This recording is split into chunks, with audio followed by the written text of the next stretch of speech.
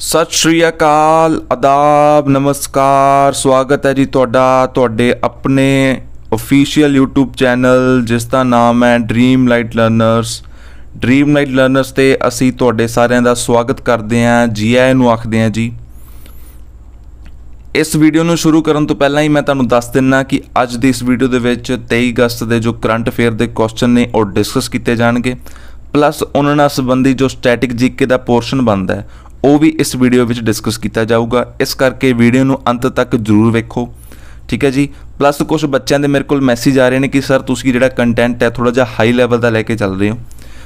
But ਵੇਖੋ ਬੱਚਿਓ, ਜੋ ਪੇਪਰ ਦਾ ਡਿਮਾਂਡ ਹੈ, ਜੋ ਪੇਪਰ ਦੇ ਵਿੱਚ ਆਉਂਦਾ ਹੈ, ਉਹਦੇ ਅਕੋਰਡਿੰਗ ਜਿਹੜਾ ਹੈਗਾ ਅਸੀਂ ਸਿਲੇਬਸ ਇਸ ਦੇ ਵਿੱਚ ਸੈੱਟ ਕਰਦੇ ਹਾਂ, ਠੀਕ ਹੈ? ਤੁਸੀਂ ਕੋਈ ਵੀ ਪੇਪਰ ਜਿਹੜਾ ਅੱਜ ਚੱਕ ਕੇ ਵੇਖ ਲਓ ਪੀ ਟ੍ਰਿਪਲ ਐਸ ਬੀ ਦਾ ਐਕਸਾਈਜ਼ ਇਨਸਪੈਕਟਰ ਦਾ, ਠੀਕ ਹੈ?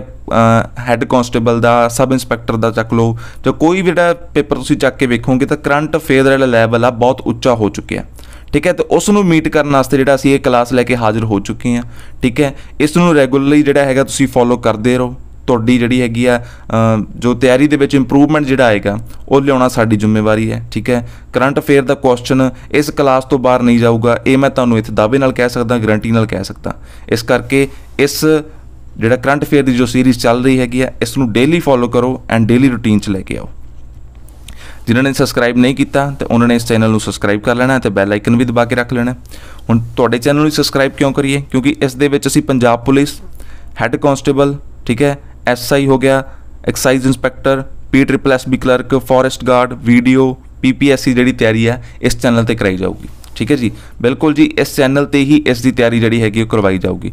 ਇਸ ਚੈਨਲ ਤੇ ਸਭ ਤੋਂ ਪਹਿਲਾਂ ਅਸੀਂ ਜਿਹੜੀ ਹੈਗੀ ਆ, ਕਰੰਟ ਅਫੇਅਰਸ ਦੀ ਜਿਹੜੀ ਸੀਰੀਜ਼ ਲੈ ਕੇ ਉਹ ਹਾਜ਼ਰ ਹੋ ਚੁੱਕੇ ਹਾਂ। ਡੇਲੀ ਕਰੰਟ ਅਫੇਅਰ ਇਸ ਚੈਨਲ ਤੇ 7 ਵਜੇ ਸਵੇਰ ਅਪਲੋਡ ਹੋ ਜਾਂਦਾ, ਇਸ ਕਰਕੇ ਡੇਲੀ ਜਿਹੜਾ ਹੈਗਾ, ਅਲਾਰਮ ਲਾ ਲਓ 7 ਵਜੇ ਦਾ, ਇਸ ਕਲਾਸ ਨੂੰ ਨਹੀਂ ਛੱਡਣਾ। ਇਸ ਕਲਾਸ ਨੂੰ ਛੱਡ ਦੋਗੇ ਤਾਂ ਜਿਹੜਾ ਅੱਧਾ ਪੋਰਸ਼ਨ ਹੈ ਤੁਹਾਡਾ ਛੱਡ ਜਾਏਗਾ ਪੇਪਰ ਦੇ ਵਿੱਚ। ਕਿਉਂਕਿ ਸਟੈਟਿਕ ਜੀਕੇ ਤੇ ਕਰੰਟ ਅਫੇਅਰ ਪੇਪਰ ਦੇ ਵਿੱਚ ਬਹੁਤ ਇੰਪੋਰਟੈਂਟ ਰੋਲ ਅਦਾ ਕਰਦੇ ਨੇ। ਠੀਕ ਹੈ, ਇਸ ਕਰਕੇ 7 ਵਜੇ ਅਲਾਰਮ ਲਾ ਲਓ। ਠੀਕ ਹੈ, ਇਸ ਕਲਾਸ ਨੂੰ ਡੇਲੀ ਵੇਖੋ ਡੇਲੀ ਰੂਟੀਨਸ ਕਰੋ। ਤੁਹਾਡੇ ਪੇਪਰ ਦੇ ਵਿੱਚ ਬਹੁਤ ਇੰਪਰੂਵਮੈਂਟ ਆਵੇਗਾ। ਠੀਕ ਹੈ ਪਲੱਸ 10 ਦੇ ਵਿੱਚ ਜਿਹੜੇ ਮੈਥ ਦੀ ਸੀਰੀਜ਼ ਹੈ ਅਸੀਂ ਉਹ ਸ਼ੁਰੂ ਕਰਨ ਲੱਗੇ ਹੈਗੇ ਹਾਂ, ਠੀਕ ਹੈ? ਐਜ਼ ਪ੍ਰੋਮਿਸ ਅਸੀਂ ਕਿਹਾ ਸੀ ਵੀ ਤੁਹਾਡਾ ਰਿਸਪੌਂਸ ਅੱਛਾ ਮਿਲਿਆ, ਤਾਂ ਪਹਿਲੀ ਦੋ ਵੀਡੀਓ ਤੇ ਤੁਹਾਡਾ ਰਿਸਪੌਂਸ ਜਿਹੜਾ ਅਦਭੁਤ ਮਿਲਿਆ, ਇਸ ਕਰਕੇ ਮੈਥ ਦੀ ਜਿਹੜੀ ਸੀਰੀਜ਼ ਹੈ ਆ ਜਿਹੜੀ ਮੈਥ ਦੀ ਪਹਿਲੀ ਵੀਡੀਓ ਆ, ਉਹ ਅਪਲੋਡ ਹੋ ਜੂਗੀ। ਪਲੱਸ ਇਹਦੇ ਵਿੱਚ ਇੰਗਲਿਸ਼ ਦੇ ਜਿਹੜੇ ਸਾਡੇ ਕੋਲ ਬੈਸਟ ਟੀਚਰ ਆ ਇੰਗਲਿਸ਼ ਵੀ ਇਸ ਚੈਨਲ ਤੇ ਅਸੀਂ ਫ੍ਰੀ ਆਫ ਕਾਸਟ ਜਿਹੜੀ ਹੈਗੀ ਆ, ਉਹ ਸ਼ੁਰੂ ਕਰ ਰਹੇ ਹਾਂ ਕਿਤੇ ਤੇ ਬਹੁਤ ਵਧੀਆ ਤਰੀਕੇ ਨਾਲ ਇਹ ਹੋਵੇਗਾ ਤੇ ਸਾਰਾ ਕੰਟੈਂਟ ਜਿਹੜਾ ਹੋਏਗਾ ਜੀ, ਉਹ ਪੰਜਾਬੀ ਦੇ ਵਿੱਚ ਹੋਏਗਾ। ਪੰਜਾਬੀ ਚ ਹੋਏਗਾ ਪਲੱਸ ਪੰਜਾਬੀ ਲੈਂਗੁਏਜ ਦੇ ਵਿੱਚ ਜਿਹੜਾ ਹੈਗਾ ਇਹ ਸਾਰਾ ਡਿਲੀਵਰ ਕੀਤਾ ਜਾਊਗਾ। ਠੀਕ ਹੈ ਜੀ? ਸੋ ਅੱਜ ਦਾ ਮੋਟੀਵੇਸ਼ਨ ਕੋਡ ਕੀ ਹੈ ਦੇਖਦੇ ਹਾਂ। ਜਦੋਂ ਤੁਸੀਂ ਰੋਜ਼ ਡਿੱਗ ਕੇ ਦੁਬਾਰਾ ਖੜੇ ਹੁੰਦੇ ਹੋ, ਤਾਂ ਤੁਹਾਡੇ ਹੌਸਲੇ ਜ਼ਿੰਦਗੀ ਤੋਂ ਵੱਡੇ ਹੋ ਜਾਂਦੇ ਨੇ। ਡਿੱਗ ਕੇ ਖੜੇ ਹੋਣਾ ਕੋਈ ਸੌਖੀ ਗੱਲ ਨਹੀਂ। ਕੋਈ ਡਿੱਗ ਪੈਂਦੇ ਨੇ, ਡਿੱਗੇ ਰਹਿੰਦੇ ਨੇ, ਦੁਬਾਰਾ ਖੜੇ ਹੋਣ ਦੀ ਹਿੰਮਤ ਹੀ ਨਹੀਂ ਪੈਦਾ ਹੁੰਦੀ। ਠੀਕ ਹੈ? ਕੋਈ ਪੇਪਰ ਚੋਂ ਫੇਲ ਹੋ ਗਿਆ, ਠੀਕ ਹੈ? ਕਿਸੇ ਤੋਂ ਕੋਈ ਗਲਤੀ ਹੋ ਗਈ ਉਹ ਆਪਦੇ ਆਪ ਨੂੰ ਘৃਣਾ ਦੀ ਨਿਚਾਨ ਨਾਲ ਜਿਹੜੇ ਹੈਗੇ ਦੇਖਦੇ ਰਹਿੰਦੇ ਨੇ, ਕਦੇ ਉੱਪਰ ਉੱਠਣ ਦੀ ਕੋਸ਼ਿਸ਼ ਨਹੀਂ ਕਰਦੇ। ਪਰ ਕਹਿੰਦੇ ਜਦੋਂ ਤੁਸੀਂ ਰੋਜ਼ ਡਿੱਗ ਕੇ ਦੁਬਾਰਾ ਖੜੇ ਹੁੰਦੇ ਹੋ, ਠੀਕ ਹੈ, ਤਾਂ ਤੁਹਾਡੇ ਹੌਸਲੇ ਜ਼ਿੰਦਗੀ ਤੋਂ ਵੱਡੇ ਹੋ ਜਾਂਦੇ ਨੇ। ਜਿਹੜੇ ਤੁਹਾਡੇ ਹੌਸਲੇ ਨੇ, ਉਹ ਜ਼ਿੰਦਗੀ ਤੋਂ ਵੱਡੇ ਹੋ ਜਾਂਦੇ ਨੇ, ਠੀਕ ਹੈ। ਤੁਸੀਂ ਕੋਈ ਵੀ ਕੰਮ ਜਿਹੜਾ ਹੈਗਾ ਕਰਨ ਲਈ ਤਿਆਰ ਹੋ ਜਾਂਦੇ ਹੋਵੋਗੇ, ਠੀਕ ਹੈ। ਇਸ ਕਰਕੇ ਦੁਬਾਰਾ ਖੜੇ ਹੋਣਾ, ਜਦੋਂ ਵੀ ਡਿੱਗੋ, ਠੀਕ ਹੈ, ਜਦੋਂ ਵੀ ਤੁਹਾਨੂੰ ਮਹਿਸੂਸ ਹੋਵੇ ਵੀ ਮੈਂ ਹੁਣ ਨਹੀਂ ਕਰ ਸਕਦਾ, ਤਾਂ ਦੁਬਾਰਾ ਖੜੇ ਹੋਣਾ, ਠੀਕ ਹੈ। ਆਪਦੇ ਮਾਪਿਓ ਵੱਲ ਵੇਖਣਾ ਠੀਕ ਹੈ? ਉਹਨਾਂ ਨੇ ਸਾਨੂੰ ਇਸ ਵਾਸਤੇ ਪੜਾਉਣਾ ਸ਼ੁਰੂ ਨਹੀਂ ਕੀਤਾ ਸੀ ਵੀ ਅਸੀਂ ਕੁਇਟ ਕਰ ਦਈਏ, ਅਸੀਂ ਅੱਗੇ ਚੱਲਦੇ ਰਹੀਏ। ਤਾਂ ਜੋ ਉਹਨਾਂ ਦਾ ਜਿਹੜਾ ਨਾਮ ਹੈ, ਉਹ ਜਿਹੜਾ ਸਮਾਜ ਦੇ ਵਿੱਚ ਰੋਸ਼ਨ ਕਰ ਸਕੀਏ, ਉਹਨਾਂ ਦੀ ਇੱਕ ਪਹਿਚਾਣ ਬਣਾ ਸਕੀਏ। ਠੀਕ ਹੈ ਜੀ? ਇਸ ਕਰਕੇ ਉਹਨਾਂ ਆਪਣੇ ਵਾਸਤੇ ਨਹੀਂ ਤਾਂ ਖਾ- ਕਮ ਸੇ ਕਮ ਉਹਨਾਂ ਖਾਤਰ ਹੀ ਆਪਾਂ ਪੜ੍ਹੀਏ। ਠੀਕ ਹੈ? ਇਸ ਕਰਕੇ ਪੜਾਉਣ ਆ ਗਏ ਆ ਇਸ ਚੈਨਲ ਨਾਲ ਜੁੜ ਜਾਓ ਡੇਲੀ ਠੀਕ ਹੈ? ਡੇਲੀ ਕੰਟੈਂਟ ਜਿਹੜਾ ਇਸ ਚੈਨਲ ਤੇ ਅਪਲੋਡ ਹੋਏਗਾ, ਕਰੇਗਾ। ਠੀਕ ਹੈ? ਲਾਈਕ ਕਰੋ ਸ਼ੇਅਰ ਕਰੋ ਐਂਡ ਸਬਸਕ੍ਰਾਈਬ ਕਰੋ। ਬੈਲ ਆਈਕਨ ਵੀ ਜਿਹੜਾ ਪ੍ਰੈਸ ਕਰ ਲਓ। ਵੱਧਦੇ ਹਾਂ ਪਹਿਲੇ ਕੁਐਸਚਨ ਵੱਲ ਕੀ ਹੈ ਜੀ? ਚੰਡੀਗੜ੍ਹ ਇੰਟਰਨੈਸ਼ਨਲ 에ਅਰਪੋਰਟ ਦਾ ਨਾਮ ਬਦਲ ਕੇ ਰੱਖਿਆ ਗਿਆ ਹੈ। Chandigarh international airport has been renamed as ਤਾਂ ਚੰਡੀਗੜ੍ਹ 에ਅਰਪੋਰਟ ਇਸ ਦਾ ਨਾਮ ਬਦਲ ਕੇ ਕੀ ਰੱਖ ਦਿੱਤਾ ਗਿਆ ਜੀ? ਤਾਂ ਇਸ ਦਾ ਨਾਮ ਬਦਲ ਕੇ ਰੱਖ ਦਿੱਤਾ ਗਿਆ ਜੀ ਸ਼ਹੀਦ ਭਗਤ ਸਿੰਘ 에ਅਰਪੋਰਟ ਇੱਕ ਚੀਜ਼ ਨੋਟ ਕਰ ਲਓ ਤੁਸੀਂ, ਸ਼ਹੀਦ ਭਗਤ ਸਿੰਘ 에ਅਰਪੋਰਟ ਜਿਹੜਾ ਹੈਗਾ, ਇਸ ਦਾ ਨਾਮ ਰੱਖ ਦਿੱਤਾ ਗਿਆ ਤਾਂ ਇਸ ਦਾ ਆਨਸਰ ਕੀ ਹੋ ਜਾਊਗਾ? ਏ ਭਗਤ ਸਿੰਘ। ਭਗਤ ਸਿੰਘ ਬਾਰੇ ਜਿੰਨਾ ਗੱਲ ਕਹੀਏ ਉਨੀ ਹੀ ਘੱਟ ਹੈ ਜੀ। ਹਿੰਦ ਵਾਸੀਓ ਰੱਖਣਾ ਯਾਦ ਸਾਨੂੰ, ਕਿਤੇ ਦਿਲਾਂ ਚੋਂ ਨਾ ਭੁਲਾ ਜਾਣਾ। ਖਾਤਰ ਵਤਨ ਦੇ ਲੱਗੀਆਂ ਚੜਨ ਫਾਂਸੀ ਸਾਨੂੰ ਦੇਖ ਕੇ ਨਾ ਘਬਰਾ ਜਾਣਾ। ਠੀਕ ਹੈ? ਤਾਂ ਕਿਹਾ ਸੀ ਉਹਨਾਂ ਨੇ, ਸਾਨੂੰ ਦਿਲਾਂ ਚੋਂ ਨਾ ਭੁਲਾ ਜਾਣਾ। ਤੇ ਦਿਲਾਂ ਚੋਂ ਨਾ ਭੁਲਾ ਦੀ ਉਹਨਾਂ ਨੂੰ। ਤੋਂ ਇਸੇ ਮੁਕਸਦ ਦੇ ਵਿੱਚ ਜਿਹੜਾ ਹੈਗਾ, ਇਨ ਚੰਡੀਗੜ੍ਹ ਇੰਟਰਨੈਸ਼ਨਲ 에ਅਰਪੋਰਟ ਦਾ ਨਾਮ ਬਦਲ ਕੇ ਕੀ ਰੱਖਤਾ ਹੈ? ਸ਼ਹੀਦ ਭਗਤ ਸਿੰਘ 에ਅਰਪੋਰਟ ਜਿਹੜਾ ਹੈਗਾ, ਉਹ ਨਾਮ ਰੱਖ ਦਿੱਤਾ ਗਿਆ। ਅਗੇਨ ਮੈਂ ਕਹਾਂਗਾ ਭਗਤ ਸਿੰਘ ਜੀ ਬਾਰੇ ਜਿੰਨੀ ਗੱਲ ਕਰੀਏ ਉਨੀ ਘੱਟ ਹੈ, ਠੀਕ ਹੈ?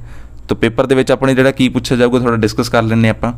ਸ਼ਹੀਦ ਭਗਤ ਸਿੰਘ ਬਾਰੇ ਗੱਲ ਕਰੀਏ ਤਾਂ ਇਹਨਾਂ ਦਾ ਜਨਮ ਜਿਹੜਾ ਹੈਗਾ ਕਦੋਂ ਹੋਇਆ ਸੀਗਾ? ਤਾਂ ਜਨਮ ਇਹਨਾਂ ਦਾ ਲਿਖੋ ਜੀ 28 ਸਤੰਬਰ ਜਿਹੜਾ 1907 ਦੇ ਵਿੱਚ ਇਸ ਦਾ ਜਨਮ ਹੋਇਆ ਸੀਗਾ। ਇਹਨਾਂ ਨੂੰ ਸ਼ਹੀਦ ਕਦੋਂ ਹੋਏ ਸੀਗੇ? ਤਾਂ ਇਹ ਨੋਟ ਕਰੋ ਜੀ 23 ਮਾਰਚ 1931 ਨੂੰ। ਸਭਾ ਪੁੱਛ ਲਈ ਜਾਂਦੀ, ਕਿਹੜੀ ਸਭਾ ਚਲਾਈ ਸੀ ਤੇ ਨੋਟ ਕਰੋ ਜੀ। ਨੌਜਵਾਨ ਭਾਰਤ ਸਭਾ। ਨੌਜਵਾਨ ਭਾਰਤ ਸਭਾ ਜਿਹੜੀ ਚਲਾਈ ਗਈ ਸੀ ਤੇ ਇਹਨਾਂ ਨੂੰ ਹੋਰ ਕਿਹੜੇ ਨਾਮ ਨਾਲ ਜਾਣਿਆ ਜਾਂਦਾ?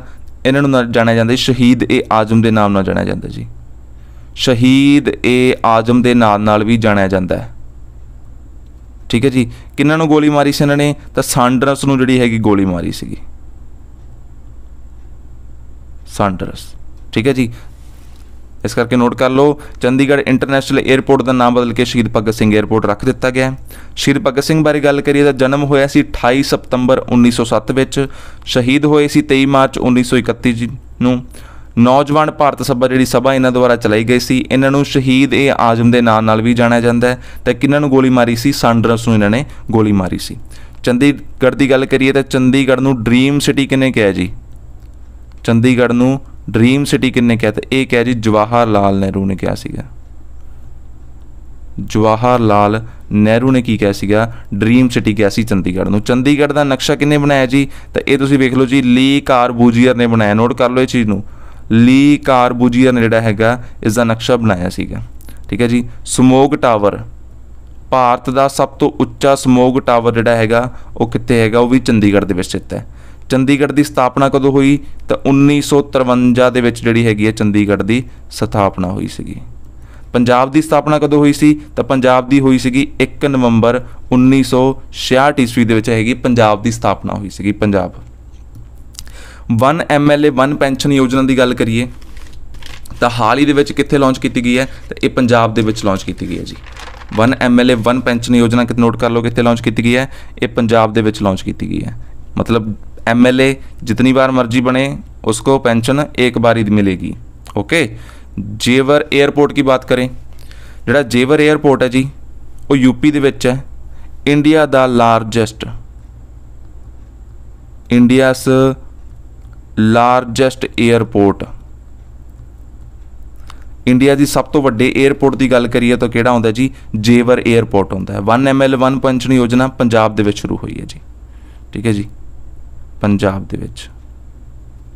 New name of Aurangabad Aurangabad ਜਿਹੜਾ ਸ਼ਹਿਰ ਦਾ ਨਾਮ ਬਦਲ ਕੇ ਕੀ ਰੱਖ ਦਿੱਤਾ ਗਿਆ? ਤਾਂ ਇਹ ਰੱਖ ਦਿੱਤਾ ਸ਼ਬਾਜੀ ਨਗਰ ਰੱਖ ਦਿੱਤਾ ਗਿਆ ਜਿਸ ਨੂੰ ਨੋਟ ਕਰ ਲਓ ਤੁਸੀਂ। ਹਾਲ ਹੀ ਦੇ ਵਿੱਚ ਗਰੁੱਪ ਡੀ ਦੇ ਪੇਪਰ ਦੇ ਵਿੱਚ ਪੁੱਛਿਆ ਗਿਆ ਇਹ। ਤਾਂ ਕੀ ਰੱਖ ਦਿੱਤਾ ਗਿਆ ਹੈਗਾ? ਸ਼ਬਾਜੀ ਨਗਰ ਇਸ ਦਾ ਨਾਮ ਬਦਲ ਕੇ ਰੱਖ ਦਿੱਤਾ ਗਿਆ। ਪੰਜਾਬ ਦੀ ਗੱਲ ਕਰੀਏ ਤਾਂ ਕੈਪੀਟਲ ਚੰਡੀਗੜ੍ਹ ਹੈ ਜੀ। ਸੀਐਮ ਭਗਵੰਤ ਮਾਨ ਹੈ ਗਵਰਨਰ ਕੌਰ ਨੇ? ਬਨਵਾਰੀ ਲਾਲ ਪ੍ਰੋਹਿਤ। ਬਾਰਡਰਸ ਕਿੰਨਾ ਲੱਗਦੇ ਨੇ? ਚੰਡੀਗੜ੍ਹ, ਹਰਿਆਣਾ, ਹਿਮਾਚਲ ਪ੍ਰਦੇਸ਼, ਜੰਮੂ ਐਂਡ ਕਸ਼ਮੀਰ ਐਂਡ ਰਾਜਸਥਾਨ ਜਿਹੜੇ ਹੈਗੇ ਆ ਬਾਰਡਰ ਸ਼ੇਅਰ ਕਰਦਾ ਹੈ ਵੱਧਦੇ ਅਗਲੇ ਕੁਐਸਚਨ ਵੱਲ। ਹਾਲ ਹੀ ਵਿੱਚ ਅੰਡਰ 19 ਵਿਸ਼ਵ ਕੁਸ਼ਤੀ ਚੈਂਪੀਅਨਸ਼ਿਪ ਕਿਸ ਨੇ ਜਿੱਤਿਆ? ਵਿਸ਼ਵ ਕੁਸ਼ਤੀ ਚੈਂਪੀਅਨਸ਼ਿਪ। ਠੀਕ ਹੈ ਜੀ। ਕਿਹਨਾਂ ਨੇ ਜਿੱਤਿਆ ਇਹ? ਤਾਂ ਇਹਨਾਂ ਦਾ ਆਨਸਰ ਹੋ ਜਾਊਗਾ ਜੀ, ਅੰਤਿਮ ਪੰਗਾਲ ਨੇ ਜਿਹੜਾ ਹੈਗਾ, ਇਸ ਨੂੰ ਜਿੱਤਿਆ ਹੈਗਾ। ਅੰਤਿਮ ਪੰਗਾਲ। ਅੰਤਿਮ ਪੰਗਾਲ ਨੇ ਜਿਹੜਾ ਹੈਗਾ ਅੰਡਰ 19 ਵਿਸ਼ਵ ਕੁਸ਼ਤੀ ਚੈਂਪੀਅਨਸ਼ਿਪ ਜਿਹੜਾ ਹੈਗਾ ਜਿੱਤਿਆ ਹੈਗਾ। ਕਿਹੜਾ ਮੈਡਲ ਜਿੱਤਿਆ ਇਹਨਾਂ ਨੇ ਇੱਥੇ? ਤਾਂ ਇਹ 골ਡ ਮੈਡਲ ਜਿੱਤਿਆ ਜੀ ਇੱਥੇ। ਠੀਕ ਹੈ ਜੀ? ਮੇਨ ਇਹਦੇ ਵਿੱਚ ਕੀ ਹੈਗਾ, ਇਹ ਪਹਿਲੀ ਭਾਰਤੀ ਮਹਿਲਾ ਬਣ ਚੁੱਕੀ ਹੈ ਜਿਨ੍ਹਾਂ ਨੇ ਪਹਿਲੀ ਵਾਰ ਅੰਡਰ 19 ਵਰਲਡ ਰੈਸਲਿੰਗ ਚੈਂਪੀਅਨਸ਼ਿਪ ਜਿੱਤੀ ਹੈਗੀ ਹੈ। ਲਿਖੋ ਨੋਟ ਕਰੋ ਇਸ ਨੂੰ। ਫਰਸਟ ਭਾਰਤੀ ਔਮਨ ਬਣ ਚੁੱਕੀ ਹੈ। ਭਾਰਤੀ ਮਹਿਲਾ। ਠੀਕ ਹੈ ਜੀ, ਜਿਨ੍ਹਾਂ ਨੇ ਕੀ ਜਿੱਤਿਆ? ਵਿਸ਼ਵ ਕੁਸ਼ਤੀ ਚੈਂਪੀਅਨਸ਼ਿਪ ਵਿੱਚ 골ਡ ਮੈਡਲ ਜਿੱਤਿਆ। ਕਿੰਨਾਂ ਨੂੰ ਹਰਾ ਕੇ ਜਿੱਤਿਆ ਇਹਨਾਂ ਨੇ ਤੇ ਕਜ਼ਾਕਿਸਤਾਨ ਦੀ ਪਲੇਅਰ ਨੂੰ ਹਰਾ ਕੇ ਜਿੱਤਿਆ ਜੀ?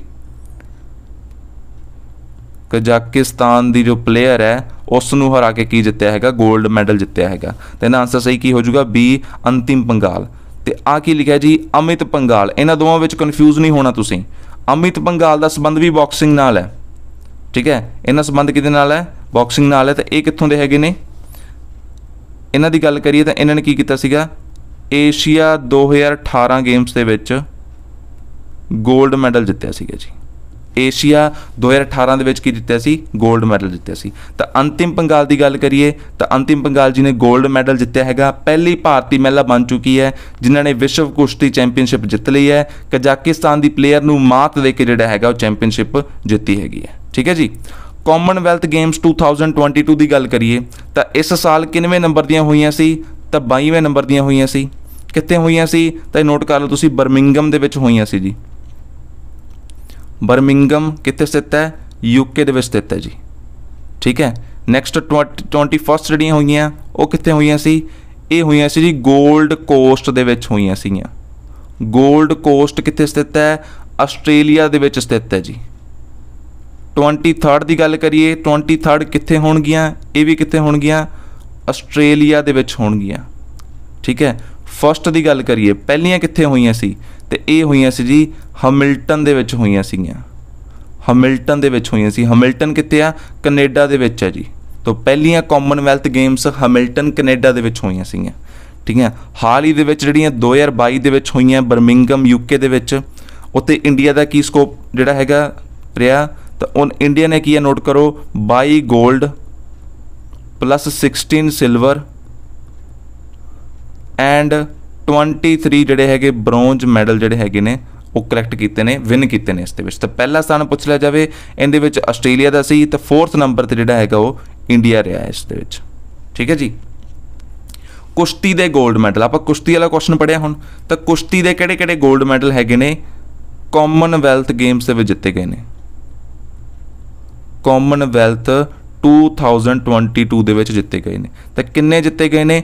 6 골ਡ ਮੈਡਲ ਜਿਹੜੇ ਜਿੱਤੇ ਗਏ ਨੇ, ਕੁਸ਼ਤੀ ਦੇ ਵਿੱਚ ਜਿੱਤੇ ਗਏ ਨੇ 6 골ਡ ਮੈਡਲ ਤਾਂ ਕਿੰਨਾ ਕਿੰਨਾ ਨੇ ਜਿੱਤੇ ਨੇ? ਨੋਟ ਕਰ ਲਓ ਇਹ।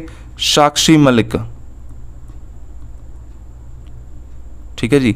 ਇਹ ਅਸੀਂ ਨਾ ਡੇਲੀ ਜਿਹੜਾ ਹੈਗਾ ਪੇਪਰ ਦਾ ਐਨਾਲਿਸਿਸ ਕਰਦੇ ਰਹਿੰਦੇ ਗਰੁੱਪ ਡੀ ਦੇ ਪੇਪਰ ਹੋ ਰਹੇ ਨੇ, ਉਹਨਾਂ ਦਾ ਅਸੀਂ ਐਨਾਲਿਸਿਸ ਕਰ ਰਹੇ ਹੈਗੇ ਆ ਤਾਂ ਉਹਨਾਂ ਵਿੱਚ ਬਿਲਕੁਲ ਐਵੇਂ ਦੇ ਕੁਐਸਚਨ ਪੁੱਛੇ ਗਏ ਨੇ। ਤੇ ਇਹਨਾਂ ਵਿੱਚੋਂ ਦੀਪਕ ਪੁਨੀਆ ਬਾਰੇ ਪੁੱਛਿਆ ਗਿਆ ਸੀ ਵੀ ਇਹਨਾਂ ਨੇ 골ਡ ਮੈਡਲ ਜਿਹੜਾ ਹੈਗਾ ਕਿੰਨਾ ਵਿੱਚ ਜਿੱਤਿਆ, ਤਾਂ ਇਹਨਾਂ ਨੇ ਜਿੱਤਿਆ ਸੀਗਾ ਕਾਮਨਵੈਲਥ ਗੇਮ 2022 ਦੇ ਵਿੱਚ ਜਿੱਤਿਆ ਸੀ। ਤੇ ਇਹਨਾਂ ਵਿੱਚੋਂ ਵੀ ਜਿਹੜੇ ਨੇਮ ਹੈਗੇ ਨੇ, ਉਹ ਪੁੱਛ ਲਏ ਜਾਂਦੇ ਨੇ। ਇਸ ਕਰਕੇ ਇਸ ਨੂੰ ਧਿਆਨ ਨਾਲ ਨੋਟ ਕਰ ਲੈਣਾ। ਸਾਕਸ਼ੀ ਮਲਿਕ ਹੈ ਜੀ, ਰਵੀ ਦਈਆ। ਰਵੀ ਦਈਆ ਨੈਕਸਟ ਹੈਗਾ ਜੀ ਦੀਪਕ ਪੁਨੀਆ। ਦੀਪਕ ਪੁਨੀਆ। ਨੈਕਸਟ ਹੈਗਾ ਜੀ ਵਿਨੇਸ਼ ਫੋਗਾਟ। ਵਿਨੇਸ਼ ਫੋਗਾਟ। ਨੈਕਸਟ ਨੋਟ ਕਰੋ ਨਵੀਨ। ਨੈਕਸਟ ਹੈ ਜੀ ਬਜਰੰਗ ਪੂਨੀਆ। ਬਜਰੰਗ ਪੂਨੀਆ। ਠੀਕ ਹੈ ਜੀ? ਤਾਂ ਕਾਮਨਵੈਲਥ 2022 ਦੇ ਵਿੱਚ 6 ਮੈਡਲ ਜਿਹੜੇ ਹੈਗੇ ਨੇ ਉਹ ਕੁਸ਼ਤੀ ਦੇ ਵਿੱਚ ਆਏ ਨੇ ਰੈਸਲਿੰਗ ਦੇ ਵਿੱਚ ਆਏ ਨੇ, ਸਾਕਸ਼ੀ ਮਲਿਕ ਜਿਹੜੇ ਹੈਗੇ ਨੇ, ਠੀਕ ਹੈ, ਰਵੀ ਦਈਆ, ਦੀਪਕ ਪੁਨੀਆ, ਵਿਨੇਸ਼ ਫੋਗਾਟ, ਨਵੀਨ ਤੇ ਬਜਰੰਗ ਪੁਨੀਆ ਜਿਨ੍ਹਾਂ ਨੇ ਜਿਹੜੀ ਕੀ ਹੈ 골ਡ ਮੈਡਲ ਜਿੱਤੇ ਸੀਗੇ। ਵਰਲਡ ਐਥਲੀਟ ਚੈਂਪੀਅਨਸ਼ਿਪ 2022 ਦੀ ਗੱਲ ਕਰੀਏ, ਤਾਂ ਹਾਲ ਹੀ ਦੇ ਵਿੱਚ ਹੋਈਆਂ ਕਿੱਥੇ ਹੋਈਆਂ? ਯੂ ਐਸ ਏ ਚ ਹੋਈਆਂ ਜੀ। ਇਹਦੇ ਵਿੱਚ ਫਸਟ ਸਥਾਨ ਕਿੰਦਾ ਰਿਹਾ? ਫਸਟ ਸਭ ਤੋਂ ਵੱਧ ਮੈਡਲ ਕਿਹਨੇ ਜਿੱਤੇ ਤਾਂ ਯੂ ਐਸ ਨੇ ਜਿਹੜੇ ਹੈਗੇ ਨੇ, ਸਭ ਤੋਂ ਵੱਧ ਮੈਡਲ ਜਿੱਤੇ ਨੇ। ਇੰਡੀਆ ਨੇ ਇਹਦੇ ਵਿੱਚ ਕੀ ਕੀਤਾ ਜੀ? ਇੰਡੀਆ ਨੇ ਕੀਤਾ ਇਹਦੇ ਵਿੱਚ ਸਿਰਫ ਇੱਕ ਮੈਡਲ ਲਿਆ। ਕਿਹੜਾ ਮੈਡਲ ਜਿੱਤਿਆ? ਸਿਲਵਰ ਮੈਡਲ ਜਿੱਤਿਆ ਜੀ। ਠੀਕ ਹੈ? ਕਿੰਨੇ ਜਿੱਤਿਆ? ਤਾਂ ਨੋਟ ਕਰੋ, ਨੀਰਜ ਚੋਪੜਾ ਨੇ। ਨੀਰਜ ਚੋਪੜਾ ਨੇ ਜਿਹੜਾ ਹੈਗਾ ਸਿਲਵਰ ਮੈਡਲ ਜਿੱਤਿਆ ਹੈਗਾ। ਕਾਦੇ ਵਿੱਚ ਜਿੱਤਿਆ ਹੈਗਾ? ਤਾਂ ਨੋਟ ਕਰੋ, ਜੈਵਲਿਨ ਥਰੋ ਦੇ ਵਿੱਚ। ਜੈਵਲਿਨ ਥਰੋ ਦੇ ਵਿੱਚ ਸਿਲਵਰ ਮੈਡਲ ਜਿੱਤਿਆ। ਪੁੱਛ ਲਿਆ ਜਾਵੇ ਇਸ ਜੈਵਲਿਨ ਥਰੋ ਦੇ ਵਿੱਚ ਫਿਰ 골ਡ ਕਿਸ ਨੇ ਲਿਆ ਸੀ? ਤਾਂ 골ਡ ਨੋਟ ਕਰੋ ਜੀ, ਐਂਡਰਸਨ ਨੇ ਜਿਹੜਾ ਹੈਗਾ 골ਡ ਜਿੱਤਿਆ ਸੀਗਾ। ਐਂਡਰਸਨ ਨੇ ਕਿਹੜਾ ਜਿੱਤਿਆ ਸੀ? 골ਡ ਮੈਡਲ ਜਿੱਤਿਆ ਸੀਗਾ। ਨੈਕਸਟ ਟੋਕੀਓ 올림픽ਸ ਦੀ ਗੱਲ ਕਰੀਏ ਤਾਂ 2021 ਦੇ ਵਿੱਚ ਹੋਈਆਂ ਸੀ। ਠੀਕ ਹੈ? ਇੰਡੀਆ ਦੀ ਸਥਾਨ ਜਿਹੜੀ ਹੈਗੀ ਇਸ ਵਿੱਚ ਕਿਹੜੀ ਰਹੀ ਸੀ? ਤਾਂ ਇੰਡੀਆ ਦਾ ਜਿਹੜਾ ਹੈਗਾ 48th ਰੈਂਕ ਜਿਹੜਾ ਹੈਗਾ ਟੋਕੀਓ 올림픽ਸ ਦੇ ਵਿੱਚ ਰਿਹਾ ਸੀਗਾ। ਠੀਕ ਹੈ? ਕਿੰਨੇ ਮੈਡਲ ਜਿੱਤੇ ਸੀ ਇੰਡੀਆ ਨੇ? 1 2 4 ਕਿੰਨੇ ਮੈਡਲ ਸੀ ਟੋਟਲ 7 ਮੈਡਲ ਸੀਗੇ ਜੀ। 1 골ਡ ਮੈਡਲ ਸੀਗਾ। 2 ਸਿਲਵਰ ਮੈਡਲ ਸੀਗੇ ਐਂਡ 4 ਜਿਹੜੇ ਹੈਗੇ ਉਹ ਬ੍ਰੌਂਜ ਮੈਡਲ ਸੀਗੇ। ਠੀਕ ਹੈ ਜੀ? ਹਾਕੀ ਦਾ ਪੁੱਛ ਲਿਆ ਜਾਵੇ। ਹਾਕੀ ਔਮਨ ਹਾਕੀ ਜਿਹੜੀ ਸੌਰੀ ਮੈਨ ਹਾਕੀ ਨੇ ਕਿਹੜਾ ਮੈਡਲ ਜਿੱਤਿਆ ਸੀਗਾ? ਤਾਂ ਇਹਨਾਂ ਨੇ ਬ੍ਰੌਂਜ ਮੈਡਲ ਜਿਹੜਾ ਜਿੱਤਿਆ ਸੀਗਾ। ਠੀਕ ਹੈ? ਕਿੰਨੇ ਸਾਲਾਂ ਬਾਅਦ? 41 ਸਾਲਾਂ ਬਾਅਦ ਜਿਹੜਾ ਹੈਗਾ ਉਹ ਮੈਡਲ ਜਿੱਤਿਆ ਸੀਗਾ। 올림픽ਸ ਦੇ ਵਿੱਚ। ਕਿਹਨਾਂ ਨੇ? ਮੈਨ ਹਾਕੀ ਨੇ। ਕਿਹੜਾ ਮੈਡਲ ਜਿੱਤਿਆ ਸੀ? ਬ੍ਰੌਂਜ ਮੈਡਲ ਜਿੱਤਿਆ ਸੀਗਾ। ਠੀਕ ਹੈ ਜੀ? ਤਾਂ 골ਡ ਮੈਡਲ ਕਿਹਨੇ ਜਿੱਤਿਆ ਸੀ ਇਹਦੇ ਵਿੱਚ? ਤਾਂ ਇਹ ਵੀ ਕਿਹਨੇ ਜਿੱਤਿਆ ਸੀ? ਨੀਰਜ ਚੋਪੜਾ ਨੇ ਜਿੱਤਿਆ ਸੀਗਾ। ਕਾਦੇ ਵਿੱਚ? ਜੈਵਲਿਨ ਥਰੋ ਦੇ ਵਿੱਚ। ਜੈਵਲਿਨ ਥਰੋ ਦੇ ਵਿੱਚ। ਕਿੰਨੀ ਤਰੀਕ ਨੂੰ ਜਿੱਤਿਆ ਸੀਗਾ? ਇਹ ਜਿੱਤਿਆ ਸੀ ਜੀ 7 ਅਗਸਤ ਨੂੰ ਜਿਹੜਾ ਜਿੱਤਿਆ ਸੀਗਾ 골ਡ ਮੈਡਲ ਜਿੱਤਿਆ ਸੀਗਾ। ਇਸੇ ਕਰਕੇ ਹੀ 7 ਅਗਸਤ ਨੂੰ ਕੀ ਮਨਾਇਆ ਜਾਂਦਾ ਹੈ? ਇਹ ਮਨਾਇਆ ਜਾਂਦਾ ਜੀ, ਜੈਵਲਿਨ ਥਰੋ ਡੇ ਮਨਾਇਆ ਜਾਂਦਾ ਜੀ, ਜੈਵਲਿਨ ਥਰੋ ਡੇ ਜਿਹੜਾ ਹੈਗਾ, ਉਹ ਮਨਾਇਆ ਜਾਂਦਾ, ਬਾਲਾ ਫੇਕ ਜਿਹੜਾ ਦਿਵਸ ਹੈ, ਉਹ ਮਨਾਇਆ ਜਾਂਦਾ ਠੀਕ ਹੈ ਜੀ, ਟੋਕੀਓ 올림픽 2021 ਦੇ ਵਿੱਚ ਹੋਈਆਂ ਸੀ ਇੰਡੀਆ ਦੀ ਰੈਂਕ ਪੁੱਛ ਲਈ ਜਾਵੇ ਤਾਂ 48th ਹੈ। ਇੱਕ 골ਡ ਦੋ ਸਿਲਵਰ ਐਂਡ ਚਾਰ ਬ੍ਰੌਂਜ ਮੈਡਲ ਜਿਹੜੇ ਹੈਗੇ ਜਿੱਤੇ ਸੀਗੇ। ਬ੍ਰੌਂਜ ਮੈਡਲ ਦੀ ਗੱਲ ਕਰੀਏ ਤਾਂ ਹਾਕੀ ਜਿਹੜੇ ਮੈਨ ਹੈ ਉਹਨਾਂ ਨੇ ਬ੍ਰੌਂਜ ਮੈਡਲ ਜਿੱਤਿਆ ਸੀ, ਕਿੰਨੇ ਸਾਲਾਂ ਬਾਅਦ ਜਿੱਤਿਆ ਸੀ? 41 ਸਾਲਾਂ ਬਾਅਦ ਜਿੱਤਿਆ ਸੀ। ਤੇ ਕਿਹਨੂੰ ਹਰਾ ਕੇ ਜਿੱਤਿਆ ਸੀ? ਨੋਟ ਕਰ ਲਓ ਨਿਊਜ਼ੀਲੈਂਡ ਦੀ ਟੀਮ ਨੂੰ ਹਰਾ ਕੇ ਜਿੱਤਿਆ ਸੀਗਾ, ਠੀਕ ਹੈ? 골ਡ ਜਿਹੜਾ ਲੈ ਕੇ ਆਏ ਸੀ ਨੀਰਜ ਚੋਪੜਾ ਲੈ ਕੇ ਆਏ ਸੀ, ਜੈਵਲਿਨ ਥਰੋ ਦੇ ਵਿੱਚ। 7 ਅਗਸਤ ਨੂੰ ਉਹਨਾਂ ਨੇ 골ਡ ਜਿੱਤਿਆ ਸੀ, ਇਸ ਕਰਕੇ 7 ਅਗਸਤ ਨੂੰ ਜੈਵਲਿਨ ਥਰੋ ਜਿਹੜਾ ਡੇ ਆ, ਉਹ ਮਨਾਇਆ ਜਾਂਦਾ ਹੈਗਾ, ਠੀਕ ਹੈ ਜੀ? ਫਰਸਟ 올림픽 ਦੀ ਗੱਲ ਕਰੀਏ ਤਾਂ ਪਹਿਲੇ 올림픽 ਗੇਮਸ ਕਿੱਥੇ ਹੋਏ ਸੀਗੇ? ਤਾਂ ਇਹ ਹੋਏ ਸੀਗੇ 1800 1896 ਦੇ ਵਿੱਚ ਹੋਏ ਸੀਗੇ ਜੀ ਐਥਨਸ ਦੇ ਵਿੱਚ ਹੋਏ ਸੀਗੇ ਐਥਨਸ ਦੇ ਵਿੱਚ ਹੋਏ ਸੀਗੇ ਐਥਨਸ ਠੀਕ ਹੈ ਜੀ ਫਸਟ 올림픽 1896 ਦੇ ਵਿੱਚ ਹੋਏ ਸੀ ਐਥਨਸ ਦੇ ਵਿੱਚ ਹੋਏ ਸੀਗੇ ਤੇ 2023 ਵਾਲੇ ਨੈਕਸਟ ਜਿਹੜੇ ਹੈਗੇ ਨੇ ਉਹ ਕਿੱਥੇ ਹੋਣਗੇ ਤਾਂ ਇਹ ਹੋਣਗੇ ਜੀ ਬਰਲਿਨ ਦੇ ਵਿੱਚ ਹੋਣਗੇ ਬਰਲਿਨ ਕਿੱਥੇ ਹੈ ਜੀ ਜਰਮਨੀ ਦੇ ਵਿੱਚ ਹੈ ਜੀ ਠੀਕ ਹੈ ਜੀ ਇਸ ਨੂੰ ਤੁਸੀਂ ਨੋਟ ਰੱਖਣਾ ਪੇਪਰ ਦੇ ਵਿੱਚ ਕੁਐਸਚਨ ਇਹਦਾ ਬਣ ਸਕਦਾ ਹੈ ਨੈਕਸਟ ਕੁਐਸਚਨ ਹੈ ਜੀ which country has launched milk bank for children ਕਿਸ ਦੇਸ਼ ਨੇ ਬੱਚਿਆਂ ਲਈ ਮਿਲਕ ਬੈਂਕ ਜਿਹੜਾ ਹੈਗਾ ਸ਼ੁਰੂ ਕੀਤਾ ਤਾਂ ਕਿਸ ਦੇਸ਼ ਨੇ ਸ਼ੁਰੂ ਕੀਤਾ ਤਾਂ ਇਸ ਦਾ ਆਨਸਰ ਹੋ ਜਾਊਗਾ ਜੀ ਬੰਗਲਾਦੇਸ਼, ਪਾਕਿਸਤਾਨ। ਨਹੀਂ ਜੀ, ਇਹਦਾ ਆਨਸਰ ਸਹੀ ਹੈ ਜੀ, ਨੇਪਾਲ। ਤਾਂ ਨੇਪਾਲ ਨੇ ਕੀ ਹੈ? ਮਿਲਕ ਬੈਂਕ ਜਿਹੜਾ ਹੈਗਾ ਸ਼ੁਰੂ ਕੀਤਾ ਤਾਂ ਕਿਹਨੇ ਸ਼ੁਰੂ ਕੀਤਾ ਨੇਪਾਲ ਨੇ ਸ਼ੁਰੂ ਕੀਤਾ ਹੈ। ਕਾਦੇ ਵਾਸਤੇ ਸ਼ੁਰੂ ਕੀਤਾ ਤਾਂ ਚਾਈਲਡ ਮੋਰਟੈਲਿਟੀ ਨੂੰ ਰੋਕਣ ਵਾਸਤੇ। ਚਾਈਲਡ ਮੋਰਟੈਲਿਟੀ ਨੂੰ ਜਿਹੜਾ ਹੈਗਾ ਰੋਕਣ ਵਾਸਤੇ, ਜਿਹੜਾ ਚਾਈਲਡ ਦੀ ਮ੍ਰਿਤਕ ਜਿਹੜੀ ਹੈਗੀ ਸੰਖਿਆ ਵਧ ਰਹੀ ਹੈ ਉੱਥੇ ਉਸ ਨੂੰ ਰੋਕਣ ਵਾਸਤੇ ਮਿਲਕ ਬੈਂਕ ਜਿਹੜੀ ਹੈਗੀ ਸ਼ੁਰੂਆਤ ਕੀਤੀ ਗਈ ਹੈ ਤਾਂ ਜੋ ਜਿਹੜੇ ਛੋਟੇ ਬੱਚੇ ਨੇ, ਉਹਨਾਂ ਦੀ ਡੈਥ ਜਿਹੜੀ ਹੈ ਉਹ ਜਲਦੀ ਨਾ ਹੋਵੇ। ਠੀਕ ਹੈ ਜੀ, ਤੇ ਦਾ ਆਨਸਰ ਕੀ ਹੋ ਜਾਊਗਾ? ਬੀ ਨੇਪਾਲ। ਅੱਗੇ ਗੱਲ ਕਰੀਏ ਮਿਸ਼ਨ ਇੰਦਰਧਨੁਸ਼।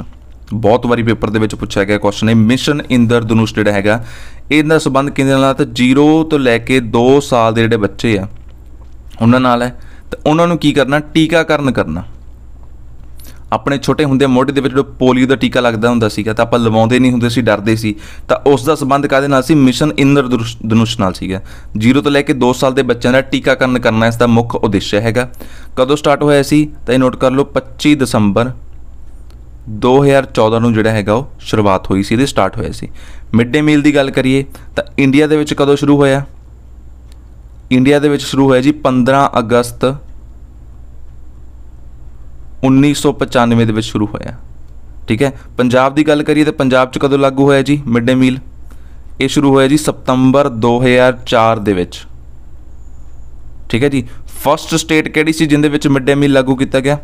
ਫਰਸਟ ਸਟੇਟ ਸੀਗੀ ਉਸ ਜੀ ਤਾਮਿਲਨਾਡੂ ਦੇ ਵਿੱਚ। ਠੀਕ ਹੈ? ਤਾਮਿਲਨਾਡੂ ਦੇ ਵਿੱਚ ਟੈਗਾ ਕੀਤਾ ਗਿਆ।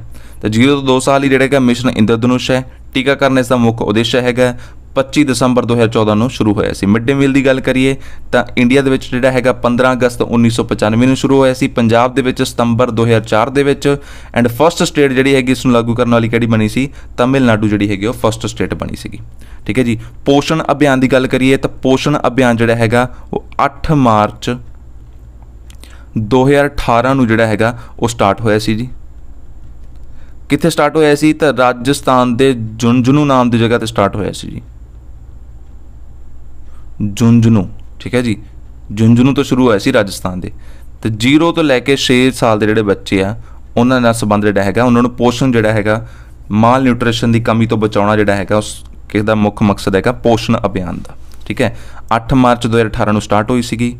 ਰਾਜਸਥਾਨ ਦੇ ਜੁੰਜਨੂ ਦੇ ਨਾਂ ਤੋਂ ਸਟਾਰਟ ਹੋਈ ਸੀਗੀ ਤਾਂ 0 ਸਾਲ ਦੇ 6 ਬੱਚੇ 6 ਸਾਲ ਤੱਕ ਜਿਹੜੇ ਬੱਚੇ ਆ, ਉਸ ਇਸ ਨਾਲ ਸੰਬੰਧ ਰੱਖਦੇ ਨੇ। ਪਾਲਣ 1000 ਆਪਾਂ ਹਾਲ ਹੀ ਦੇ ਵਿੱਚ ਪਿੱਛੇ ਪੜਿਆ ਠੀਕ ਹੈ, ਮੈਂ ਪੜਾ ਕੇ ਹਟਿਆ ਤੁਹਾਨੂੰ ਪਿੱਛੇ। ਕਦੋਂ ਸਟਾਰਟ ਕੀਤਾ ਸੀਗੇ? 16 ਅਗਸਤ ਨੂੰ ਸਟਾਰਟ ਹੋਇਆ ਸੀਗੇ 2022 ਦੇ ਵਿੱਚ। ਠੀਕ ਹੈ ਜੀ, ਕਿੰਨੇ ਸਟਾਰਟ ਕੀਤਾ ਸੀ? ਹੈਲਥ ਮਿਨਿਸਟਰ ਨੇ ਸਟਾਰਟ ਕੀਤਾ ਜੀ। ਹੈਲਥ ਮਿਨਿਸਟਰੀ ਨੇ। ਠੀਕ ਹੈ, ਇਹਦਾ ਵੀ ਸੰਬੰਧ ਕਿਹਦੇ ਨਾਲ ਹੈ 0 ਤੋਂ ਲੈ ਕੇ 2 ਸਾਲ ਦੇ ਬੱਚਿਆਂ ਵਾਸਤੇ ਇਸ ਦਾ ਸੰਬੰਧ ਹੈ। ਠੀਕ ਹੈ? ਉਹਨਾਂ ਦਾ ਪਾਲਣ ਪੋਸ਼ਣ ਕਿਵੇਂ ਕਰਨਾ ਹੈ? ਠੀਕ ਹੈ? ਉਹਨਾਂ ਨੂੰ ਖਾਣਾ ਕਿਵੇਂ ਖਵਾਉਣਾ ਹੈ? ਕਿਹੜੀ ਡਾਈਟ ਖਵਾਉਣੀ ਹੈ? ਤਾਂ ਇਹ ਜਿਹੜਾ ਸਾਰਾ ਕੁਝ ਪਾਲਣ 1000 ਦੇ ਵਿੱਚ ਦੱਸਿਆ ਜਾਊਗਾ। ਕਿੰਨੇ ਦਿਨ ਚੱਲੂਗਾ ਇਹ? 1000 ਡੇਜ਼ ਚੱਲੂਗਾ ਜੀ। ਇਸੇ ਕਰਕੇ ਇਹਦਾ ਨਾਮ ਕੀ ਹੈ? ਪਾਲਣ 1000 ਠੀਕ ਹੈ? 16 ਅਗਸਤ 2022 ਦੇ ਵਿੱਚ ਲਾਂਚ ਹੋਇਆ ਹੈਲਥ ਮਿਨਿਸਟਰੀ ਦੁਆਰਾ ਲਾਂਚ ਕੀਤਾ ਗਿਆ। ਤੁਹਾਡੇ ਇਸੇ ਕੁਐਸਚਨ ਹੈ ਜੀ। ਜੇ ਸੁਣ ਰਹੇ ਹੋ ਤਾਂ ਸਾਰੇ ਜਾਣੇ ਕੰਨ ਖੋਲ ਕੇ ਬੈਠੇ ਆ। ਤਾਂ ਹੈਲਥ ਮਿਨਿਸਟਰ ਜਿਹੜੇ ਆਪਣੇ ਇੰਡੀਆ ਦੇ ਕਿਹੜੇ ਨੇ? ਇੰਡੀਆ ਦੇ ਹੈਲਥ ਮਿਨਿਸਟਰ ਕੌਣ ਨੇ? ਪਲੱਸ ਪੰਜਾਬ ਦੇ ਕਿਹੜੇ ਨੇ ਜੀ? ਇਹ ਦੋਵੇਂ ਚੀਜ਼ਾਂ ਜਿਹੜੀਆਂ ਤੁਸੀਂ ਕਮੈਂਟ ਬਾਕਸ ਵਿੱਚ ਛਾਪ ਦਿਓ ਜੀ। ਇਹ ਕਮੈਂਟ ਬਾਕਸ ਦੇ ਵਿੱਚ ਦੋਵੇਂ ਚੀਜ਼ਾਂ ਜਿਹੜੀਆਂ ਆਨਸਰ ਨੇ ਦਾ ਕਮੈਂਟ ਬਾਕਸ ਦੇ ਵਿੱਚ ਆ ਜਾਣਾ ਚਾਹੀਦਾ ਠੀਕ ਹੈ? ਨੈਕਸਟ ਜੀ ਨਮਸਤੇ ਸਮੀ- ਜਿਹੜੀ ਸਕੀਮ ਹੈ ਇਜ਼ ਕਨਸਰਨਡ ਵਿਦ ਨਮਸਤੇ ਯੋਜਨਾ ਦਾ ਸੰਬੰਧ ਹੈ। ਤਾਂ ਇਹਨਾਂ ਦਾ ਸੰਬੰਧ ਹੈਗਾ ਜੀ, ਸਫ਼ਾਈ ਕਰਮਚਾਰੀਆਂ ਨਾਲ ਇਸ ਦਾ ਸੰਬੰਧ ਹੈਗਾ, ਨਮਸਤੇ ਯੋਜਨਾ। ਸਫ਼ਾਈ ਕਰਮਚਾਰੀਆਂ ਨਾਲ ਕਿਵੇਂ, ਸਰ? ਆਪਾਂ ਕੀ ਕਰਦੇ ਆ ਹਮੇਸ਼ਾ ਸਫ਼ਾਈ ਕਰਮਚਾਰੀਆਂ ਨੂੰ ਹੀਨ ਭਾਵ ਨਾਲ ਦੇਖਦੇ ਆ ਠੀਕ ਹੈ? ਕੋਈ ਉਹਨਾਂ ਦਾ ਕੋਈ ਆਪਾਂ ਉਹਨਾਂ ਨਾਲ ਮਿਲਦੇ ਗਿਲਦੇ ਨਹੀਂ, ਬੋਲਦੇ ਨਹੀਂ, ਠੀਕ ਹੈ? ਹੀਨ ਭਾਵ ਨਾਲ ਦੇਖਦੇ ਆ ਜਿਹੜੇ ਆਪਣੇ ਕੋਲੇ ਹੋਣ ਤਾਂ ਆਪਾਂ ਉਸ ਤੋਂ ਦੂਰ ਜਾਣ ਦੀ ਕੋਸ਼ਿਸ਼ ਕਰਦੇ ਆ ਤਾਂ ਉਹਨਾਂ ਨੂੰ ਇਸ ਚੀਜ਼ ਤੋਂ ਬਚਾਉਣ ਵਾਸਤੇ, ਠੀਕ ਹੈ? ਕਈ ਡਾਕਟਰਸ ਵੀ ਜਿਹੜੇ ਹੈਗੇ ਨੇ, ਉਹਨਾਂ ਦਾ ਇਲਾਜ ਨਹੀਂ ਕਰਦੇ, ਕਹਿ ਕੇ ਵੀ ਇਹ ਜਿਹੜੇ ਸਫ਼ਾਈ ਕਰਮਚਾਰੀ ਨੇ, ਠੀਕ ਹੈ? ਤਾਂ ਉਹਨਾਂ ਜਿਹੜੇ ਦੁਰਦਸ਼ਾ ਹੈਗੀ ਹੈ, ਸਮਾਜ ਦੇ ਵਿੱਚ ਬਹੁਤ ਮਾੜੀ ਹੈਗੀ ਹੈ। ਹਾਲਾਂਕਿ ਆਪਾਂ ਇਹਨਾਂ ਦੇ ਸਿਰ ਤੇ ਜੀ ਰਹੇ ਹੈਗੇ ਹਾਂ, ਜੇ ਗੰਦਗੀ ਨਾ ਕਲੈਕਟ ਕਰਨ ਤਾਂ ਆਪਣਾ ਜੀਣਾ ਸਮਾਜ ਦੇ ਵਿੱਚ ਬਹੁਤ ਔਖਾ ਹੋ ਜਾਵੇ। ਤਾਂ ਇਹਨਾਂ ਨੂੰ ਰਿਸਪੈਕਟ ਦੇਣ ਵਾਸਤੇ ਸਰਕਾਰ ਨੇ ਸੋਚਿਆ ਵੀ ਇਹਨਾਂ ਨੂੰ ਰਿਸਪੈਕਟ ਦਿੱਤੀ ਜਾਵੇ ਸਮਾਜ ਦੇ ਵਿੱਚ। ਤਾਂ ਉਹਨਾਂ ਨੂੰ ਰਿਸਪੈਕਟ ਦੇਣ ਵਾਸਤੇ ਕੀ ਲਾਂਚ ਕੀਤਾ ਗਿਆ? ਨਮਸਤੇ ਯੋਜਨਾ ਜਿਹੜੀ ਲਾਂਚ ਕੀਤੀ ਗਈ ਹੈ। ਕਿੰਨਾਂ ਵਾਸਤੇ? ਸਫ਼ਾਈ ਕਰਮਚਾਰੀਆਂ ਵਾਸਤੇ ਜਿਹੜੇ ਲਾਂਚ ਕੀਤੀ ਗਈ ਹੈ। ਤਾਂ ਕਿੰਨਾ ਦੁਬਾਰਾ ਕੀਤੀ ਗਈ ਹੈ? ਸਭ ਤੋਂ ਪਹਿਲਾਂ ਇਹ ਜ਼ਰੂਰੀ ਹੈ ਨੋਟ ਕਰ ਲਓ। ਇਹ ਨੋਟ ਕੀਤੀ ਕੀਤੀ ਗਈ ਸਮਾਜਿਕ ਨਿਆਂ ਅਤੇ ਅਧਿਕਾਰਤਾ ਮੰਤਰਾਲੇ ਦੁਆਰਾ। ਸਮਾਜਿਕ ਨਿਆਂ ਅਤੇ ਅਧਿਕਾਰਤਾ ਮੰਤਰਾਲੇ ਦੁਆਰਾ। ਠੀਕ ਹੈ? ਪਲੱਸ ਇਹਦੇ ਨਾਲ ਕੌਣ ਆਇਆ ਸੀ? ਆਵਾਸ ਅਤੇ ਸ਼ਹਿਰੀ ਮੰਤਰਾਲੇ। ਆਵਾਸ ਅਤੇ ਸ਼ਹਿਰੀ ਮੰਤਰਾਲੇ। ਇਹ ਦੋ ਮੰਤਰਾਲਿਆਂ ਨੇ ਰਲ ਕੇ ਜਿਹੜਾ ਹੈਗਾ ਨਮਸਤੇ ਸਕੀਮ ਯੋਜਨਾ ਸ਼ੁਰੂ ਕੀਤੀ ਹੈ। ਕਿੰਨਾਂ ਵਾਸਤੇ ਇਹ? ਸਫ਼ਾਈ ਕਰਮਚਾਰੀਆਂ ਨੂੰ ਸੁਰੱਖਿਆ ਦੇਣ ਵਾਸਤੇ। ਸਫ਼ਾਈ ਕਰਮਚਾਰੀਆਂ ਨੂੰ ਜਿਹੜਾ ਹੈਗਾ, ਉਹ ਸੁਰੱਖਿਆ ਦੇਣ ਵਾਸਤੇ।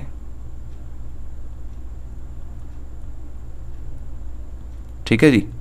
ਕਿੰਨੇ ਸਿਟੀ ਵਿੱਚ ਲਾਗੂ ਕੀਤਾ ਜਾਏਗਾ? ਇੰਪੋਰਟੈਂਟ ਹੈਗਾ ਨੋਟ ਕਰ ਲਓ 500 ਸਿਟੀ ਵਿੱਚ ਜਿਹੜਾ ਹੈਗਾ, ਸ਼ੁਰੂ ਦੇ ਵਿੱਚ ਲਾਗੂ ਕੀਤਾ ਜਾਊਗਾ। ਸਮਾਜਿਕ ਨਿਆਂ ਤੇ ਅਧਿਕਾਰਤਾ ਮੰਤਰਾਲੇ ਨਾਲ ਹੀ ਆਵਾਸ ਅਤੇ ਸ਼ਹਿਰੀ ਮੰਤਰਾਲੇ ਨੇ ਦੋਵਾਂ ਨੇ ਜਿਹੜਾ ਰਲ ਕੇ ਹੈਗਾ ਨਮਸਤੇ ਯੋਜਨਾ ਸਕੀਮ ਦੀ ਜਿਹੜੀ ਸ਼ੁਰੂਆਤ ਕੀਤੀ ਹੈ। ਸਫ਼ਾਈ ਕਰਮਚਾਰੀ ਨੂੰ ਸੁਰੱਖਿਆ ਦੇਣਾ ਇਸ ਦਾ ਮੁੱਖ ਮਕਸਦ ਹੈਗਾ। ਸ਼ੁਰੂ ਦੇ ਵਿੱਚ ਜਿਹੜਾ ਹੈਗਾ ਕਿੰਨੇ ਸਿਟੀਜ਼ ਦੇ ਵਿੱਚ? 500 ਸਿਟੀਜ਼ ਦੇ ਵਿੱਚ ਜਿਹੜਾ ਹੈਗਾ ਉਹ ਸ਼ੁਰੂ ਕੀਤਾ ਜਾਵੇਗਾ। ਜਿਹੜਾ ਨਮਸਤੇ ਨਾਮ ਇਹਦਾ ਕਿਉਂ ਰੱਖਿਆ ਹੈ? ਤੇ ਕੁਝ ਸੋਚ ਸਮਝ ਕੇ ਰੱਖਿਆ ਜੀ। ਉਹ ਹੀ ਨਹੀਂ ਰੱਖ ਦਿੱਤਾ ਗਿਆ ਨਮਸਤੇ। ਕਿਉਂ ਰੱਖਿਆ ਇਸ ਦੀ ਫੁੱਲ ਫਾਰਮ ਹੈ ਇੱਕ ਬਕਾਇਦਾ। ਨੋਟ ਕਰੋ। ਇਸ ਦੀ ਹੈਗੀ ਹੈ ਜੀ national action for mechanised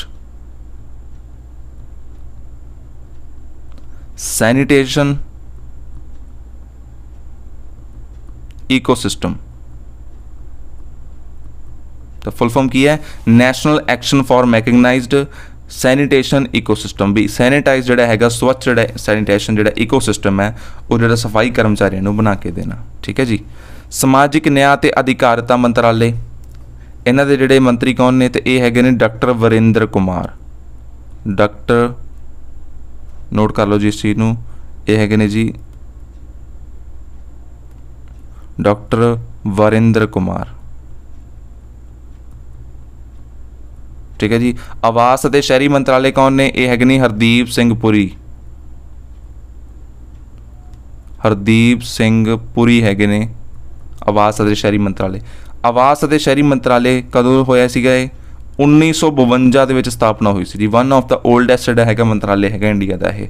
ਠੀਕ ਹੈ? 1952 ਦੇ ਵਿੱਚ ਜਿਹੜੀ ਹੈਗੀ ਇਸ ਦੀ ਸਥਾਪਨਾ ਹੋਈ ਸੀਗੀ। ਸਿਹਤ ਯੋਜਨਾ ਬਾਰੇ ਪੁੱਛ ਲਿਆ ਜਾਵੇ। ਸਿਹਤ ਯੋਜਨਾ ਕੀ ਹੈ ਜੀ? ਤਾਂ ਸਿਹਤ ਯੋਜਨਾ ਬਾਰੇ ਲਿਖੋ। ਇਹ ਹੈਗੇ ਜੀ ਸੁਰੱਖ- ਜਿਹੜੇ ਸੁਰੱਖਿਆ ਕਰਮਚਾਰੀ ਆਪਣੇ। ਠੀਕ ਹੈ? ਸੁਰੱਖਿਆ ਕਰਮਚਾਰੀ ਹੈ ਜੋ ਸੁਰੱਖਿਆ ਕਰਦੇ ਨੇ। ਸੁਰੱਖਿਆ ਕਰਮਚਾਰੀ ਦੇ ਪਰਿਵਾਰ ਨੂੰ ਜਿਹੜਾ ਹੈਗਾ ਮੈਡੀਕਲ ਹੈਲਪ ਦੇਣਾ। ਠੀਕ ਹੈ ਜੀ? ਤਾਂ ਸਿਹਤ ਯੋਜਨਾ ਜਿਹੜੀ ਹੈਗੀ, ਉਸ ਦਾ ਸੰਬੰਧ ਕਿਸ ਦੇ ਨਾਲ ਹੈਗਾ? ਇਹ ਹੈਗਾ ਜੀ ਸੁਰੱਖਿਆ ਕਰਮਚਾਰੀਆਂ ਦੇ ਜਿਹੜਾ ਪਰਿਵਾਰ ਨੂੰ ਜਿਹੜਾ ਹੈਗਾ, ਉਹ ਮੈਡੀਕਲ ਹੈਲਪ ਦੇਣਾ। ਠੀਕ ਹੈ? ਪਰਿਵਾਰ ਨੂੰ ਮੈਡੀਕਲ ਹੈਲਪ ਦੇਣਾ। ਨੈਕਸਟ ਕੁਐਸਚਨ ਕੀ ਹੈ ਜੀ? ਮਨੀਸ਼ ਕਲਿਆਣ ਜਿਹੜੀ ਹੁਣੇ ਹਾਲ ਹੀ ਦੇ ਵਿੱਚ ਚਰਚਾ ਵਿੱਚ ਰਹੇ ਹੈ, ਉਹਨਾਂ ਦਾ ਸਬੰਧ ਕਿਸ ਖੇਡ ਨਾਲ ਹੈ, ਕਿਸ ਗੇਮ ਦੇ ਨਾਲ ਹੈ? ਤਾਂ ਇਹਨਾਂ ਦਾ ਸੰਬੰਧ ਆਨਸਰ ਹੋ ਜਾਊਗਾ ਜੀ ਸੀ ਫੁੱਟਬਾਲ ਨਾਲ ਇਹਨਾਂ ਦਾ ਸੰਬੰਧ ਹੈ। ਠੀਕ ਆ, ਹਾਲ ਹੀ ਦੇ ਵਿੱਚ ਚਰਚਾ ਵਿੱਚ ਕਿਉਂ ਆਏ ਨੇ? ਕਿਉਂਕਿ ਜਿਹੜੇ ਇਹ ਹੈਗੇ ਨੇ U E F A woman football league woman football league ਇਹ ਕਿੱਥੇ ਹੁੰਦੀ ਹੈ ਲੀਗ ਜੀ? ਇਹ ਯੂਰਪ ਦੇ ਵਿੱਚ ਹੁੰਦੀ ਹੈ ਜੀ। ਠੀਕ ਹੈ? ਕਿਉਂ ਚਰਚਾ ਵਿੱਚ ਆਏ ਨੇ? ਤਾਂ U E F A woman football league ਜਿਹੜੀ ਹੈਗੀ ਲੀਗ ਕਿੱਥੇ ਹੁੰਦੀ ਹੈ? ਯੂਰਪ ਦੇ ਵਿੱਚ ਹੁੰਦੀ ਹੈ। ਇਹਨਾਂ ਵਿੱਚ ਹਿੱਸਾ ਲੈਣ ਵਾਲੀ ਭਾਰਤ ਦੀ ਪਹਿਲੀ ਮਹਿਲਾ ਕੌਣ ਬਣ ਗਈ ਹੈ? ਮਨੀਸ਼ ਕਲਿਆਣ ਬਣ ਚੁੱਕੀ ਹੈ। ਨੋਟ ਕਰੋ ਇਸ ਚੀਜ਼ ਨੂੰ। ਤੇ ਇਸ ਲੀਗ ਵਿੱਚ ਜਿਹੜਾ ਹੈਗਾ ਇਸ ਲੀਗ ਵਿੱਚ ਜਿਹੜਾ ਹੈਗਾ ਪਾਰਟਿਸਿਪੇਟ ਕਰਨ ਵਾਲੀ ਪਹਿਲੀ ਭਾਰਤੀ ਮਹਿਲਾ ਬਣ ਚੁੱਕੀ ਹੈ ਜੀ।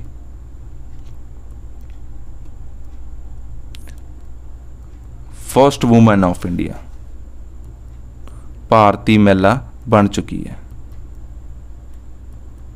ਇਹਦਾ ਨਾਮ ਹੈ ਜੀ ਮਨੀਸ਼ ਕਲਿਆਣ ਦਾ। ਠੀਕ ਹੈ ਜੀ? UEFA ਔਮਨ ਜਿਹੜੇ ਫੁੱਟਬਾਲ ਲੀਗ ਹੈਗੀ ਆ, ਯੂਰਪ ਦੇ ਵਿੱਚ ਹੁੰਦੀ ਹੈ। ਇਹਨਾਂ ਵਿੱਚ ਪਾਰਟਿਸਿਪੇਟ ਕਰਨ ਵਾਲੀ ਜਿਹੜੀ ਗਈ ਹੈ ਉਹ ਇਹਨਾਂ ਵਿੱਚ ਖੇਡਣ ਵਾਲੀ ਤਾਂ ਪਹਿਲੀ ਜਿਹੜੀ ਹੈਗੀ ਕੌਣ ਹੈ? ਮਨੀਸ਼ ਕਲਿਆਣ, ਇੰਡੀਆ ਦੀ ਪਹਿਲੀ ਔਮਨ ਜਿਹੜੀ ਉਹ ਬਣ ਚੁੱਕੀ ਹੈ। ਬੈਸਟ ਫੁੱਟਬਾਲ ਪਲੇਅਰ ਦੀ ਗੱਲ ਕਰੀਏ ਤਾਂ ਹਾਲ ਹੀ ਦੇ ਵਿੱਚ ਦੋ ਚੁਣੇ ਗਏ ਨੇ, ਇੱਕ ਮੇਲ ਦੇ ਵਿੱਚ ਚੁਣਿਆ ਗਿਆ ਜੀ। ਮੇਲ ਦੇ ਵਿੱਚ ਕੌਣ ਹੈ ਜੀ? ਸੁਨੀਲ ਛੇਤਰੀ ਨੂੰ ਚੁਣਿਆ ਗਿਆ। ਸੁਨੀਲ ਛੇਤਰੀ ਨੂੰ। ਠੀਕ ਹੈ ਜੀ ਫੀਮੇਲ ਦੀ ਗੱਲ ਕਰੀਏ, ਤਾਂ ਫੀਮੇਲ ਦੇ ਵਿੱਚ ਚੁਣਿਆ ਗਿਆ ਜੀ ਮਨੀਸ਼ਾ ਕਲਿਆਣ ਨੂੰ।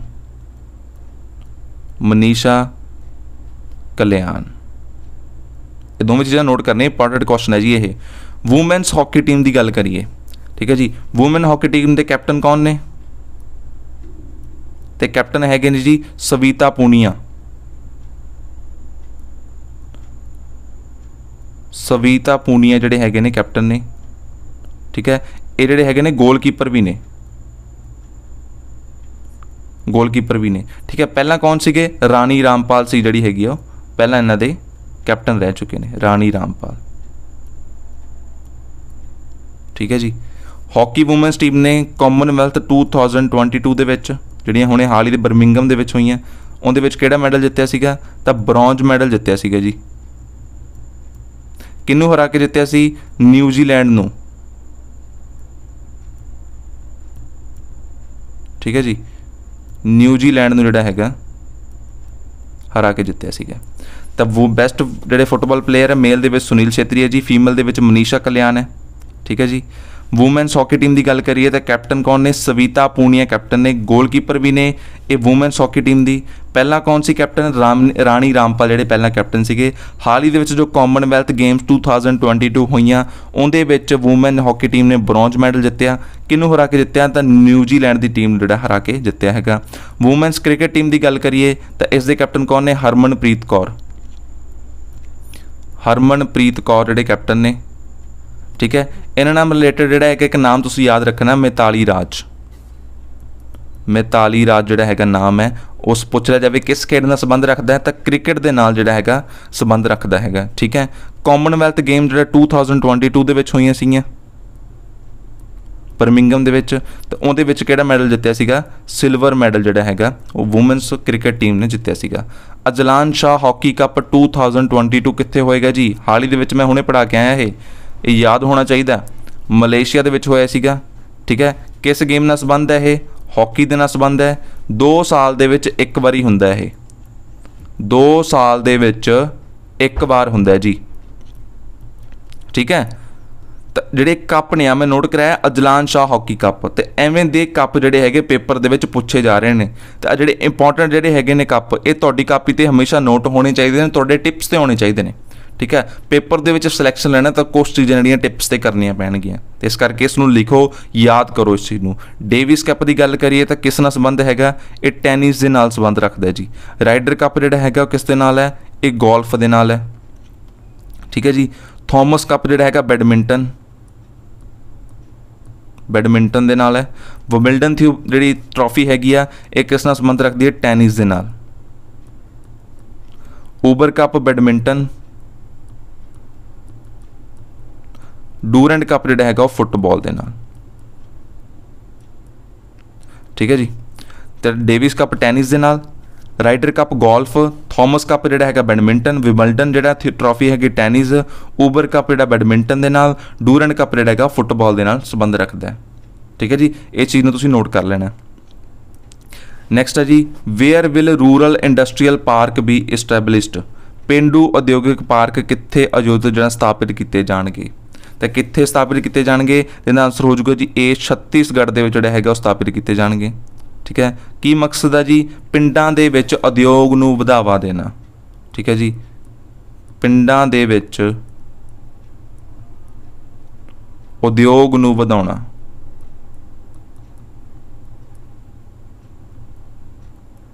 ਮੁੱਖ ਮਕਸਦ ਹੈਗਾ ਜੀ। ਤਾਂ ਪਿੰਡੂ ਉਦਯੋਗਿਕ ਪਾਰਕ ਛੱਤੀਸਗੜ੍ਹ ਦੇ ਵਿੱਚ ਹੋਏ ਨੇ ਸ਼ੁਰੂ। ਪਿੰਡਾਂ ਵਿੱਚ ਇੰਡਸਟਰੀ ਨੂੰ ਜਿਹੜਾ ਵਧਾਉਣਾ ਹੈਗਾ, ਮੁੱਖ ਇਹਦਾ ਮੇਨ ਮਕਸਦ ਹੈਗਾ, ਇੱਕ ਸਾਲ ਦੇ ਵਿੱਚ 300 ਪਾਰਕ ਜਿਹੜੇ ਲਾਏ ਜਾਣਗੇ। ਇੱਕ ਸਾਲ ਦੇ ਵਿੱਚ 300 ਪਾਰਕ ਦੀ ਜਿਹੜੀ ਸਥਾਪਨਾ ਹੈਗੀ ਹੈ, ਉਹ ਕੀਤੀ ਜਾਊਗੀ, ਠੀਕ ਹੈ? ਫਰਸਟ ਪਾਰਕ ਕਦੋਂ ਬਣ ਕੇ ਸਟਾਰਟ ਜਿਹੜਾ ਸਟਾਰਟ ਹੋ ਜਾਊਗਾ? ਜਿਹੜਾ ਫਰਸਟ ਪਾਰਕ ਹੈ, ਉਹ 2 ਅਕਤੂਬਰ ਨੂੰ ਜਿਹੜਾ ਹੈਗਾ, ਗਾਂਧੀ ਜਯੰਤੀ ਵਾਲੇ ਦਿਨ ਜਿਹੜਾ ਹੈਗਾ ਬਣ ਕੇ ਤਿਆਰ ਹੋ ਜਾਊਗਾ ਜੀ। ਤੇ ਇਸ ਕਰਕੇ ਜਿਹੜਾ ਫਰਸਟ ਪਾਰਕ ਹੈ, ਉਹਦਾ ਨਾਮ ਕੀ ਰੱਖਿਆ ਜਾਊਗਾ? ਗਾਂਧੀ ਗ੍ਰਾਮ। ਫਰਸਟ ਪਾਰਕ ਦਾ ਨਾਮ ਕੀ ਰੱਖਿਆ ਜਾਊਗਾ? ਗਾਂਧੀ ਗ੍ਰਾਮ ਜਿਹੜਾ ਇਸ ਦਾ ਨਾਮ ਰੱਖਿਆ ਜਾਊਗਾ, ਠੀਕ ਹੈ ਜੀ? ਤਾਂ ਪਿੰਡੂ ਉਦਯੋਗਿਕ ਪਾਰਕ ਜਿਹੜੇ ਹੈਗੇ ਨੇ ਛੱਤੀਸਗੜ੍ਹ ਦੇ ਵਿੱਚ ਲਾਂਚ ਕੀਤੇ ਗਏ ਨੇ। ਪਿੰਡਾਂ ਦੇ ਵਿੱਚ ਉਦਯੋਗ ਨੂੰ ਜਿਹੜਾ ਵਧਾਉਣ ਲਈ ਜਿਹੜਾ ਕੀਤੇ ਗਏ ਨੇ, ਇੱਕ ਸਾਲ ਦੇ ਵਿੱਚ 300 ਪਾਰਕ ਲਾਂਚ ਕੀਤੇ ਜਾਣਗੇ। ਫਰਸਟ ਪਾਰਕ ਜਿਹੜਾ ਹੈਗਾ, ਉਹ 2 ਅਕਤੂਬਰ ਨੂੰ ਸਟਾਰਟ ਹੋ ਜਾਊਗਾ, ਬਣ ਕੇ ਤਿਆਰ ਹੋ ਜਾਊਗਾ। ਤੇ ਉਸ ਦਾ ਨਾਮ ਕੀ ਰੱਖਿਆ ਜਾਊਗਾ? ਗਾਂਧੀ ਗ੍ਰਾਮ ਉਸ ਦਾ ਨਾਮ ਰੱਖਿਆ ਜਾਊਗਾ, ਠੀਕ ਹੈ ਜੀ? ਨੈਕਸਟ ਇੰਦਰਾਵਤੀ ਰਿਵਰ ਦੀ ਗੱਲ ਕਰੀਏ, ਤਾਂ ਇੰਦਰਾਵਤੀ ਜਿਹੜੀ ਰਿਵਰ ਹੈ, ਉਹ ਕਿੱਥੇ ਹੈ? ਛੱਤੀਸਗੜ੍ਹ ਦੇ ਵਿੱਚ ਹੈ ਜੀ ਆਬਵੀਅਸਲੀ ਠੀਕ ਹੈ? ਕਿਸ ਦੀ ਸਹਾਇਕ ਨਦੀ ਹੈ ਪੁੱਛ ਲਿਆ ਜਾਵੇ, ਤਾਂ ਗੋਦਾਵਰੀ ਨਦੀ ਦੀ ਸਹਾਇਕ ਨਦੀ ਹੈ ਜੀ। ਗੋਦਾਵਰੀ ਨਦੀ ਦੀ ਸਹਾਇਕ ਰਿਵਰ ਹੈਗੀ ਹੈ। ਠੀਕ ਹੈ? ਤਾਂ ਗੋਦਾਵਰੀ ਨਦੀ ਜਿਹੜੀ ਹੈਗੀ ਹੈ, ਇਹ ਪੁੱਛ ਲਿਆ ਜਾਵੇ, ਤਾਂ ਇੰਡੀਆ ਦੀ ਸੈਕਿੰਡ ਲੌਂਗੈਸਟ ਰਿਵਰ ਹੈਗੀ ਹੈ। ਸੈਕਿੰਡ ਲੌਂਗੈਸਟ ਰਿਵਰ ਜਿਹੜੀ ਹੈਗੀ ਆ, ਉਹ ਗੋਦਾਵਰੀ ਨਦੀ ਹੈਗੀ। ਦੱਖਣ ਦੀ ਬੁੱਢੀ ਗੰਗਾ ਵੀ ਜਿਹਨੂੰ ਕਿਹਾ ਜਾਂਦਾ ਉਹ ਕਿਹੜੀ ਹੈ? ਗੋਦਾਵਰੀ ਨਦੀ ਹੈਗੀ ਆ। ਠੀਕ ਹੈ ਜੀ? ਗੁਰੂ ਘਾਸੀਦਾਸ ਟਾਈਗਰ ਰਿਜ਼ਰਵ ਦੀ ਗੱਲ ਕਰੀਏ ਤਾਂ ਇਹ ਵੀ ਕਿੱਥੇ ਹੈ ਜੀ? ਛੱਤੀਸਗੜ੍ਹ ਦੇ ਵਿੱਚ ਹੈ ਜੀ। ਠੀਕ ਹੈ? ਕਿੰਨਵੇਂ ਨੰਬਰ ਦਾ 53 ਜਿਹੜਾ 53ਵੇਂ ਨੰਬਰ ਦਾ ਹੈਗਾ। 53rd ਨੰਬਰ ਦਾ ਹੈਗਾ ਇਹ ਕੌਣ ਹੈ? ਗੁਰੂ ਘਾਸੀ ਦਾਸ ਜਿਹੜਾ ਹੈਗਾ, ਟਾਈਗਰ ਰਿਜ਼ਰਵ ਹੈਗਾ। 53rd ਨੰਬਰ ਦਾ ਹੈਗਾ। ਠੀਕ ਹੈ? ਰਿਵਰ ਤੋਂ ਗੱਲ ਯਾਦ ਆਈ, ਮੈਂ ਤੁਹਾਨੂੰ ਇੱਕ ਕੁਐਸਚਨ ਪੁੱਛਿਆ ਸੀਗਾ, ਕਈ ਬੱਚਿਆਂ ਨੇ ਆਨਸਰ ਵੀ ਦਿੱਤਾ ਸੀਗਾ ਵੀ ਵਰਲਡ ਦੀ ਸਭ ਤੋਂ ਜ਼ਿਆਦਾ ਪਾਣੀ ਲੈ ਕੇ ਜਾਣ ਵਾਲੀ ਰਿਵਰ ਕਿਹੜੀ ਹੈ? ਤਾਂ ਇਸ ਦਾ ਸਹੀ ਆਨਸਰ ਹੋ ਜਾਊਗਾ ਜੀ ਐਮਾਜ਼ਨ ਜਿਹੜੀ ਰਿਵਰ ਹੈਗੀ ਹੈ, ਉਹ ਹੈਗੀ ਹੈ। ਵਰਲਡ ਦੀ ਸਭ ਤੋਂ ਜ਼ਿਆਦਾ ਪਾਣੀ ਲੈ ਕੇ ਜਾਣ ਵਾਲੀ ਰਿਵਰ ਕਿੱਥੇ ਹੈ ਜੀ? ਐਮਾਜ਼ਨ ਦੇ ਜੰਗਲਾਂ ਦੇ ਵਿੱਚ ਸਥਿਤ ਹੈ।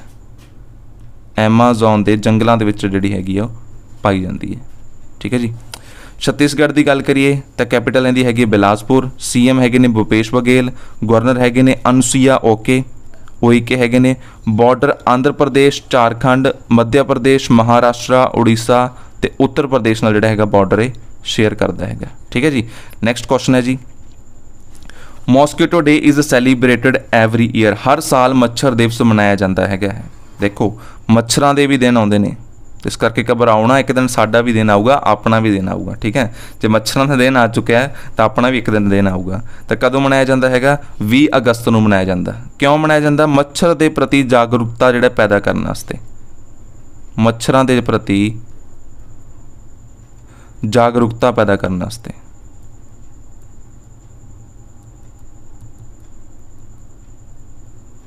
ਠੀਕ ਹੈ ਜੀ? ਮੱਛਰਾਂ ਦੇ ਪ੍ਰਤੀ ਜਾਗਰੂਕਤਾ ਪੈਦਾ ਕਰਨ ਵਾਸਤੇ ਜਿਹੜਾ ਹੈਗਾ ਉਹ ਮੋਸਕੀਟੋ ਡੇ ਜਿਹੜਾ ਹੈਗਾ ਮਨਾਇਆ ਜਾਂਦਾ ਹੈਗਾ। ਠੀਕ ਹੈ? ਕਿਉਂ ਮਨਾਇਆ ਜਾਂਦਾ? ਇਸੇ ਤਰੀਕ ਨੂੰ ਕਿਉਂ ਮਨਾਇਆ ਜਾਂਦਾ? ਤਾਂ ਇਸ ਦਿਨ ਜਿਹੜਾ ਹੈਗਾ ਰੋਨਾਲਡ ਰੋਸ ਜਿਹੜੇ ਵਿਗਿਆਨੀ ਸੀਗੇ, ਉਹਨਾਂ ਨੇ ਮਲੇਰੀਆ ਕਿਸ ਮੱਛਰ ਕਰਕੇ ਹੁੰਦਾ ਉਸ ਦੀ ਖੋਜ ਕੀਤੀ ਸੀ? ਨੋਟ ਕਰੋ ਇਸ ਚੀਜ਼ ਨੂੰ, ਬਹੁਤ ਇੰਪੋਰਟੈਂਟ ਹੈ। ਜਿਹੜਾ ਰੋਨਾਲਡ ਰੋਸ ਹੈਗੇ ਨੇ, ਉਹਨਾਂ ਨੇ ਖੋਜ ਕੀਤੀ ਸੀ ਵੀ ਮਲੇਰੀਆ ਕਿਸ ਮੱਛਰ ਕਰਕੇ ਹੁੰਦਾ ਹੈ।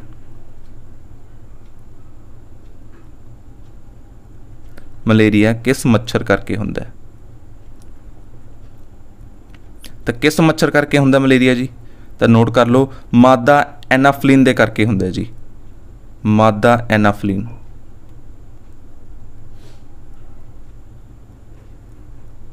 ਠੀਕ ਹੈ ਜੀ, ਇਸ ਚੀਜ਼ ਨੂੰ ਤੁਸੀਂ ਨੋਟ ਰੱਖਣਾ ਹੈ। ਮੋਸਕੀਟੋ ਡੇ ਜਿਹੜਾ ਹੈਗਾ 20 ਅਗਸਤ ਨੂੰ ਮਨਾਇਆ ਜਾਂਦਾ ਹੈ। ਮੱਛਰ ਪ੍ਰਤੀ ਜਿਹੜਾ ਜਾਗਰੂਕਤਾ ਪੈਦਾ ਕਰਨ ਵਾਸਤੇ ਰੋਨਾਲਡ ਰੋਸ ਜਿਹੜਾ ਹੈਗਾ, ਵਿਗਿਆਨੀ ਨੇ ਇਸ ਦਿਨ ਕੀ ਹੈ, ਮਲੇਰੀਆ ਕਿਸ ਮੱਛਰ ਕਰਕੇ ਹੁੰਦਾ ਉਸ ਦੀ ਖੋਜ ਕੀਤੀ ਸੀ ਤੇ ਕਿਸ ਮੱਛਰ ਕਰਕੇ ਹੁੰਦਾ ਤੁਸੀਂ ਯਾਦ ਰੱਖਣਾ ਹੈ, ਮਾਦਾ ਐਨਾਫਲਿਨ ਦੇ ਕਰਕੇ ਹੁੰਦਾ ਹੈ। ਅੱਗੇ ਕੁਐਸਚਨ ਬਣ ਸਕਦਾ ਹੈ, ਮਲੇਰੀਆ ਰੋਗ ਕਿਸ ਮੱਛਰ ਕਰਕੇ ਹੁੰਦਾ, ਆਪਾਂ ਹੁਣੇ ਪੜ੍ਹ ਹੀ ਲਿਆ ਹੈਗਾ, ਕਿਸ ਮੱਛਰ ਕਰਕੇ ਹੁੰਦਾ ਹੈ, ਮਾਦਾ ਐਨਾਫਲਿਨ। ਠੀਕ ਹੈ ਜੀ? ਤਾਂ ਡੇਂਗੂ ਰੋਗ, ਇੱਕ ਚੀਜ਼ ਹੋਰ ਹੋਰ ਨੋਟ ਕਰ ਲਓ ਇਹਦੇ ਵਿੱਚ। ਇਸ ਵਿੱਚ ਕਿਹੜੇ ਸੈੱਲ ਜਿਹੜੇ ਪ੍ਰਭਾਵਿਤ ਹੁੰਦੇ ਨੇ? ਆਰਬੀਸੀ ਸੈੱਲ ਜਿਹੜੇ ਹੈਗੇ ਨੇ, ਮਲੇਰੀਆ ਵਿੱਚ ਪ੍ਰਭਾਵਿਤ ਹੁੰਦੇ ਨੇ। ਡੇਂਗੂ ਰੋਗ ਕਿਸ ਮੱਛਰ ਕਰਕੇ ਹੁੰਦਾ ਤੇ ਅਡੀਪ ਐਜਟਾਈ ਨਾਲ ਹੁੰਦਾ ਜੀ ਨੋਟ ਕਰੋ। ਅਡੀਪ ਐਜਟਾਈ। ਠੀਕ ਹੈ ਜੀ? ਡੀਪ ਐਜਟਾਈ ਮੱਛਰ ਦਾ ਨਾਮ ਹੈ, ਉਸ ਕਰਕੇ ਹੁੰਦਾ ਡੇਂਗੂ ਰੋਗ। ਠੀਕ ਹੈ? ਇਸ ਦੇ ਵਿੱਚ ਕੀ ਹੈ? ਪਲੇਟਲੇਟ ਜਿਹੜੇ ਸੈੱਲ ਨੇ ਪਲੇਟਲੇਟ ਸੈੱਲ ਜਿਹੜੇ ਹੈਗੇ ਨੇ ਉਹ ਪ੍ਰਭਾਵਿਤ ਹੁੰਦੇ ਨੇ ਜਾਂ ਘੱਟ ਹੁੰਦੇ ਨੇ, ਠੀਕ ਹੈ? ਵਰਲਡ ਮਲੇਰੀਆ ਡੇ ਦੀ ਗੱਲ ਕਰੀ ਕਦੋਂ ਮਨਾਇਆ ਜਾਂਦਾ ਹੈਗਾ? ਤਾਂ ਇਹ 25 ਅਪ੍ਰੈਲ ਨੂੰ ਮਨਾਇਆ ਜਾਂਦਾ ਜੀ। ਹਰ ਸਾਲ ਦੇ ਵਿੱਚ ਵਰਲਡ ਮਲੇਰੀਆ ਡੇ 25 ਅਪ੍ਰੈਲ ਨੂੰ ਮਨਾਇਆ ਜਾਂਦਾ। ਮਲੇਰੀਆ ਦਾ ਟਾਰਗੇਟ ਕੀ ਗੱਲ ਕਰੀਏ, ਤਾਂ ਇੰਡੀਆ ਵਿੱਚ ਮਲੇਰੀਆ ਨੂੰ ਖਤਮ ਕਰਨ ਦਾ ਟਾਰਗੇਟ ਕੀ ਹੈ? 2030 ਦੇ ਵਿੱਚ ਜਿਹੜਾ ਇੰਡੀਆ ਨੇ ਟਾਰਗੇਟ ਲਿਆ ਮਲੇਰੀਆ ਜਿਹੜਾ ਸਮਾਪਤ ਕਰ ਦਿੱਤਾ ਜਾਊਗਾ। ਯੂਐਨ ਯੂਨਾਈਟਿਡ ਨੇਸ਼ਨ ਦੀ ਗੱਲ ਕਰੀਏ, ਤਾਂ ਇਹਨਾਂ ਨੇ ਵੀ ਕੀ ਪ੍ਰਣ ਲਿਆ ਕਿ 2030 ਦੇ ਵਿੱਚ ਜਿਹੜਾ ਹੈਗਾ ਮਲੇਰੀਆ ਉਹ ਸੰਸਾਰ ਦੇ ਵਿੱਚ ਖਤਮ ਹੋ ਜਾਣਾ ਚਾਹੀਦਾ ਹੈ। ਠੀਕ ਹੈ? List of important days in ਅਗਸਤ ਦੀ ਗੱਲ ਕਰੀਏ, ਤਾਂ 1 ਅਗਸਤ ਨੂੰ ਜਿਹੜਾਗਾ ਵਰਲਡ ਵਾਈਡ ਵੈਬ ਡੇ ਮਨਾਇਆ ਜਾਂਦਾ, ਜਿਹੜੀ ਸਾਈਟਸ ਹੁੰਦੇ ਨੇ www. ਲਿਖਦੇ ਆ ਤਾਂ ਉਹ ਜਿਹੜਾ ਡੇ ਕਦੋਂ ਮਨਾਇਆ ਜਾਂਦਾ? 1 ਅਗਸਤ ਨੂੰ। ਵਰਲਡ ਬੀਸਟ ਫਰੀਡਿੰਗ ਡੇ ਜਿਹੜਾ ਕਦੋਂ ਮਨਾਇਆ ਜਾਂਦਾ? ਵੀਕ ਜਿਹੜਾ ਮਨਾਇਆ ਜਾਂਦਾ 1 ਅਗਸਤ ਤੋਂ ਜਿਹੜਾ ਜਿਹੜਾਗਾ 7 ਅਗਸਤ ਤੱਕ। 6 ਅਗਸਤ ਨੂੰ ਹੀਰੋਸ਼ੀਮਾ ਡੇ 7 ਅਗਸਤ ਨੂੰ ਗੱਲ ਕਰੀਏ ਤਾਂ ਫਰੈਂਡਸ਼ਿਪ ਡੇ 7 ਅਗਸਤ ਨੂੰ ਜਿਹੜਾ ਮਨਾਇਆ ਜਾਂਦਾ ਨੈਸ਼ਨਲ ਹੈਂਡਲੂਮ ਡੇ 9 ਅਗਸਤ ਨੂੰ ਕੁਇਟ ਇੰਡੀਆ ਮੂਵਮੈਂਟ ਐਨੀਵਰਸਰੀ ਔਰ ਅਗਸਤ ਕ੍ਰਾਂਤੀ ਦਿਨ ਵੀ ਕਿਹਾ ਜਾਂਦਾ ਹੈਗਾ। ਠੀਕ ਹੈ ਜੀ? 9 ਅਗਸਤ ਨੂੰ ਨਾਗਾਸਾਕੀ ਡੇ ਵੀ ਮਨਾਇਆ ਜਾਂਦਾ। ਇਹ ਨਾਗਾਸਾਕੀ ਐਂਡ ਹੀਰੋਸ਼ੀਮਾ ਜਿਹੜੇ ਡੇ ਨੇ, ਇਹ ਉਹ ਡੇ ਨੇ ਜਦੋਂ ਅਮਰੀਕਾ ਨੇ ਜਾਪਾਨ ਉੱਤੇ ਜਿਹੜੇ ਹੈਗੇ ਆ ਨਿਊਕਲੀਅਰ ਬੰਬ ਸੁੱਟੇ ਸੀਗੇ। ਕਦੋਂ? ਵਰਲਡ ਵਾਰ ਸੈਕਿੰਡ ਵਾਰੀ। ਤਾਂ ਉਸ ਜਿਹੜੇ ਡੇ ਨੇ 9 ਅਗਸਤ ਐਂਡ 6 ਅਗਸਤ ਨੇ। 11 ਅਗਸਤ ਨੂੰ ਜਿਹੜਾ ਰਕਸ਼ਾ ਬੰਧਨ ਨੇ ਪਤਾ ਹੀ ਆਪਾਂ ਸਾਰਿਆਂ ਨੂੰ। 12 ਅਗਸਤ ਦੀ ਗੱਲ ਕਰੀਏ ਤਾਂ ਇੰਟਰਨੈਸ਼ਨਲ ਯੂਥ ਡੇ ਹੈਗਾ। 12 ਅਗਸਤ ਨੂੰ ਮਨਾਇਆ ਜਾਂਦਾ ਹੈ। ਐਂਡ 12 ਅਗਸਤ ਨੂੰ ਹੀ ਵਰਲਡ ਐਲੀਫੈਂਟ ਡੇ ਮਨਾਇਆ ਜਾਂਦਾ ਹੈ। 14 ਅਗਸਤ ਨੂੰ ਪਾਕਿਸਤਾਨ ਆਜ਼ਾਦ ਹੋਇਆ ਸੀ ਜੀ 15 ਅਗਸਤ ਨੂੰ ਆਪਾਂ ਆਜ਼ਾਦ ਹੋ ਗਏ ਸੀਗੇ 19 ਅਗਸਤ ਨੂੰ ਗੱਲ ਕਰੀਏ ਤਾਂ ਵਰਲਡ ਫੋਟੋਗ੍ਰਾਫੀ ਡੇ ਜਿਹੜਾ ਹੈਗਾ 19 ਅਗਸਤ ਨੂੰ ਮਨਾਇਆ ਜਾਂਦਾ ਹੈ। ਮੌਸਕੀਟੋ ਡੇ ਆਪਾਂ ਪੜ੍ਹ ਲਿਆ ਹੈਗਾ 20 ਅਗਸਤ ਨੂੰ ਮਨਾਇਆ ਜਾਂਦਾ ਐਂਡ ਸਦਭਾਵਨਾ ਦਿਵਸ ਜਿਹੜਾ ਹੈਗਾ, ਉਹ ਵੀ 20 ਅਗਸਤ ਨੂੰ ਮਨਾਇਆ ਜਾਂਦਾ ਕਮੈਂਟ ਦੇ ਵਿੱਚ ਇੱਕ ਹੋਰ ਕੁਐਸਚਨ ਪੁੱਛਣ ਜਾ ਰਿਹਾ ਸਦਭਾਵਨਾ ਦਿਵਸ ਜਿਹੜਾ ਆਪਾਂ ਕੱਲ ਦੀ ਕਲਾਸ ਦੇ ਵਿੱਚ ਕੀਤਾ ਸੀ ਕਮੈਂਟ ਕਰਕੇ ਦੱਸੋ, ਇਹਨਾਂ ਦਾ ਸੰਬੰਧ ਕਿੰਨਾ ਦੇ ਜਿਹੜਾ ਹੈਗਾ, ਜਨਮ ਦਿਵਸ ਨਾਲ ਸੰਬੰਧ ਹੈਗਾ? ਸਦਭਾਵਨਾ ਦਿਵਸ ਦਾ ਜਿਹੜਾ ਸੰਬੰਧ ਹੈਗਾ, ਉਹ ਕਿੰਨਾ ਦੇ ਜਨਮ ਦਿਵਸ ਨਾਲ ਸੰਬੰਧਿਤ ਹੈਗਾ? ਕਮੈਂਟ ਬਾਕਸ ਵਿੱਚ ਦੱਸੋ। ਕਮੈਂਟ ਬਾਕਸ ਦੇ ਵਿੱਚ ਜਿਨ੍ਹਾਂ ਦਾ ਆਨਸਰ ਸਹੀ ਹੋਊਗਾ, ਉਹਨਾਂ ਨੂੰ ਹਾਰ ਦਿੱਤਾ ਜਾਊਗਾ। ਐਂਡ ਜੇ ਨਹੀਂ ਦੱਸੋਗੇ, ਗਲਤ ਦੱਸੋਗੇ, ਤਾਂ ਮੈਂ ਕੱਲ ਦੀ ਵੀਡੀਓ ਦੇ ਵਿੱਚ ਜਿਹੜਾ ਆਨਸਰ ਹੈ ਐਸਾ ਸਹੀ ਉਹ ਦੱਸ ਦਊਂਗਾ। ਠੀਕ ਹੈ ਜੀ? So that's all for the day thank you very much ਠੀਕ ਹੈ? ਆਸ਼ਾ ਕਰਦਾ ਹਾਂ ਕਿ ਤੁਹਾਨੂੰ ਇਹ ਸੈਸ਼ਨ ਬਹੁਤ ਅੱਛਾ ਲੱਗਿਆ ਹੋਵੇਗਾ।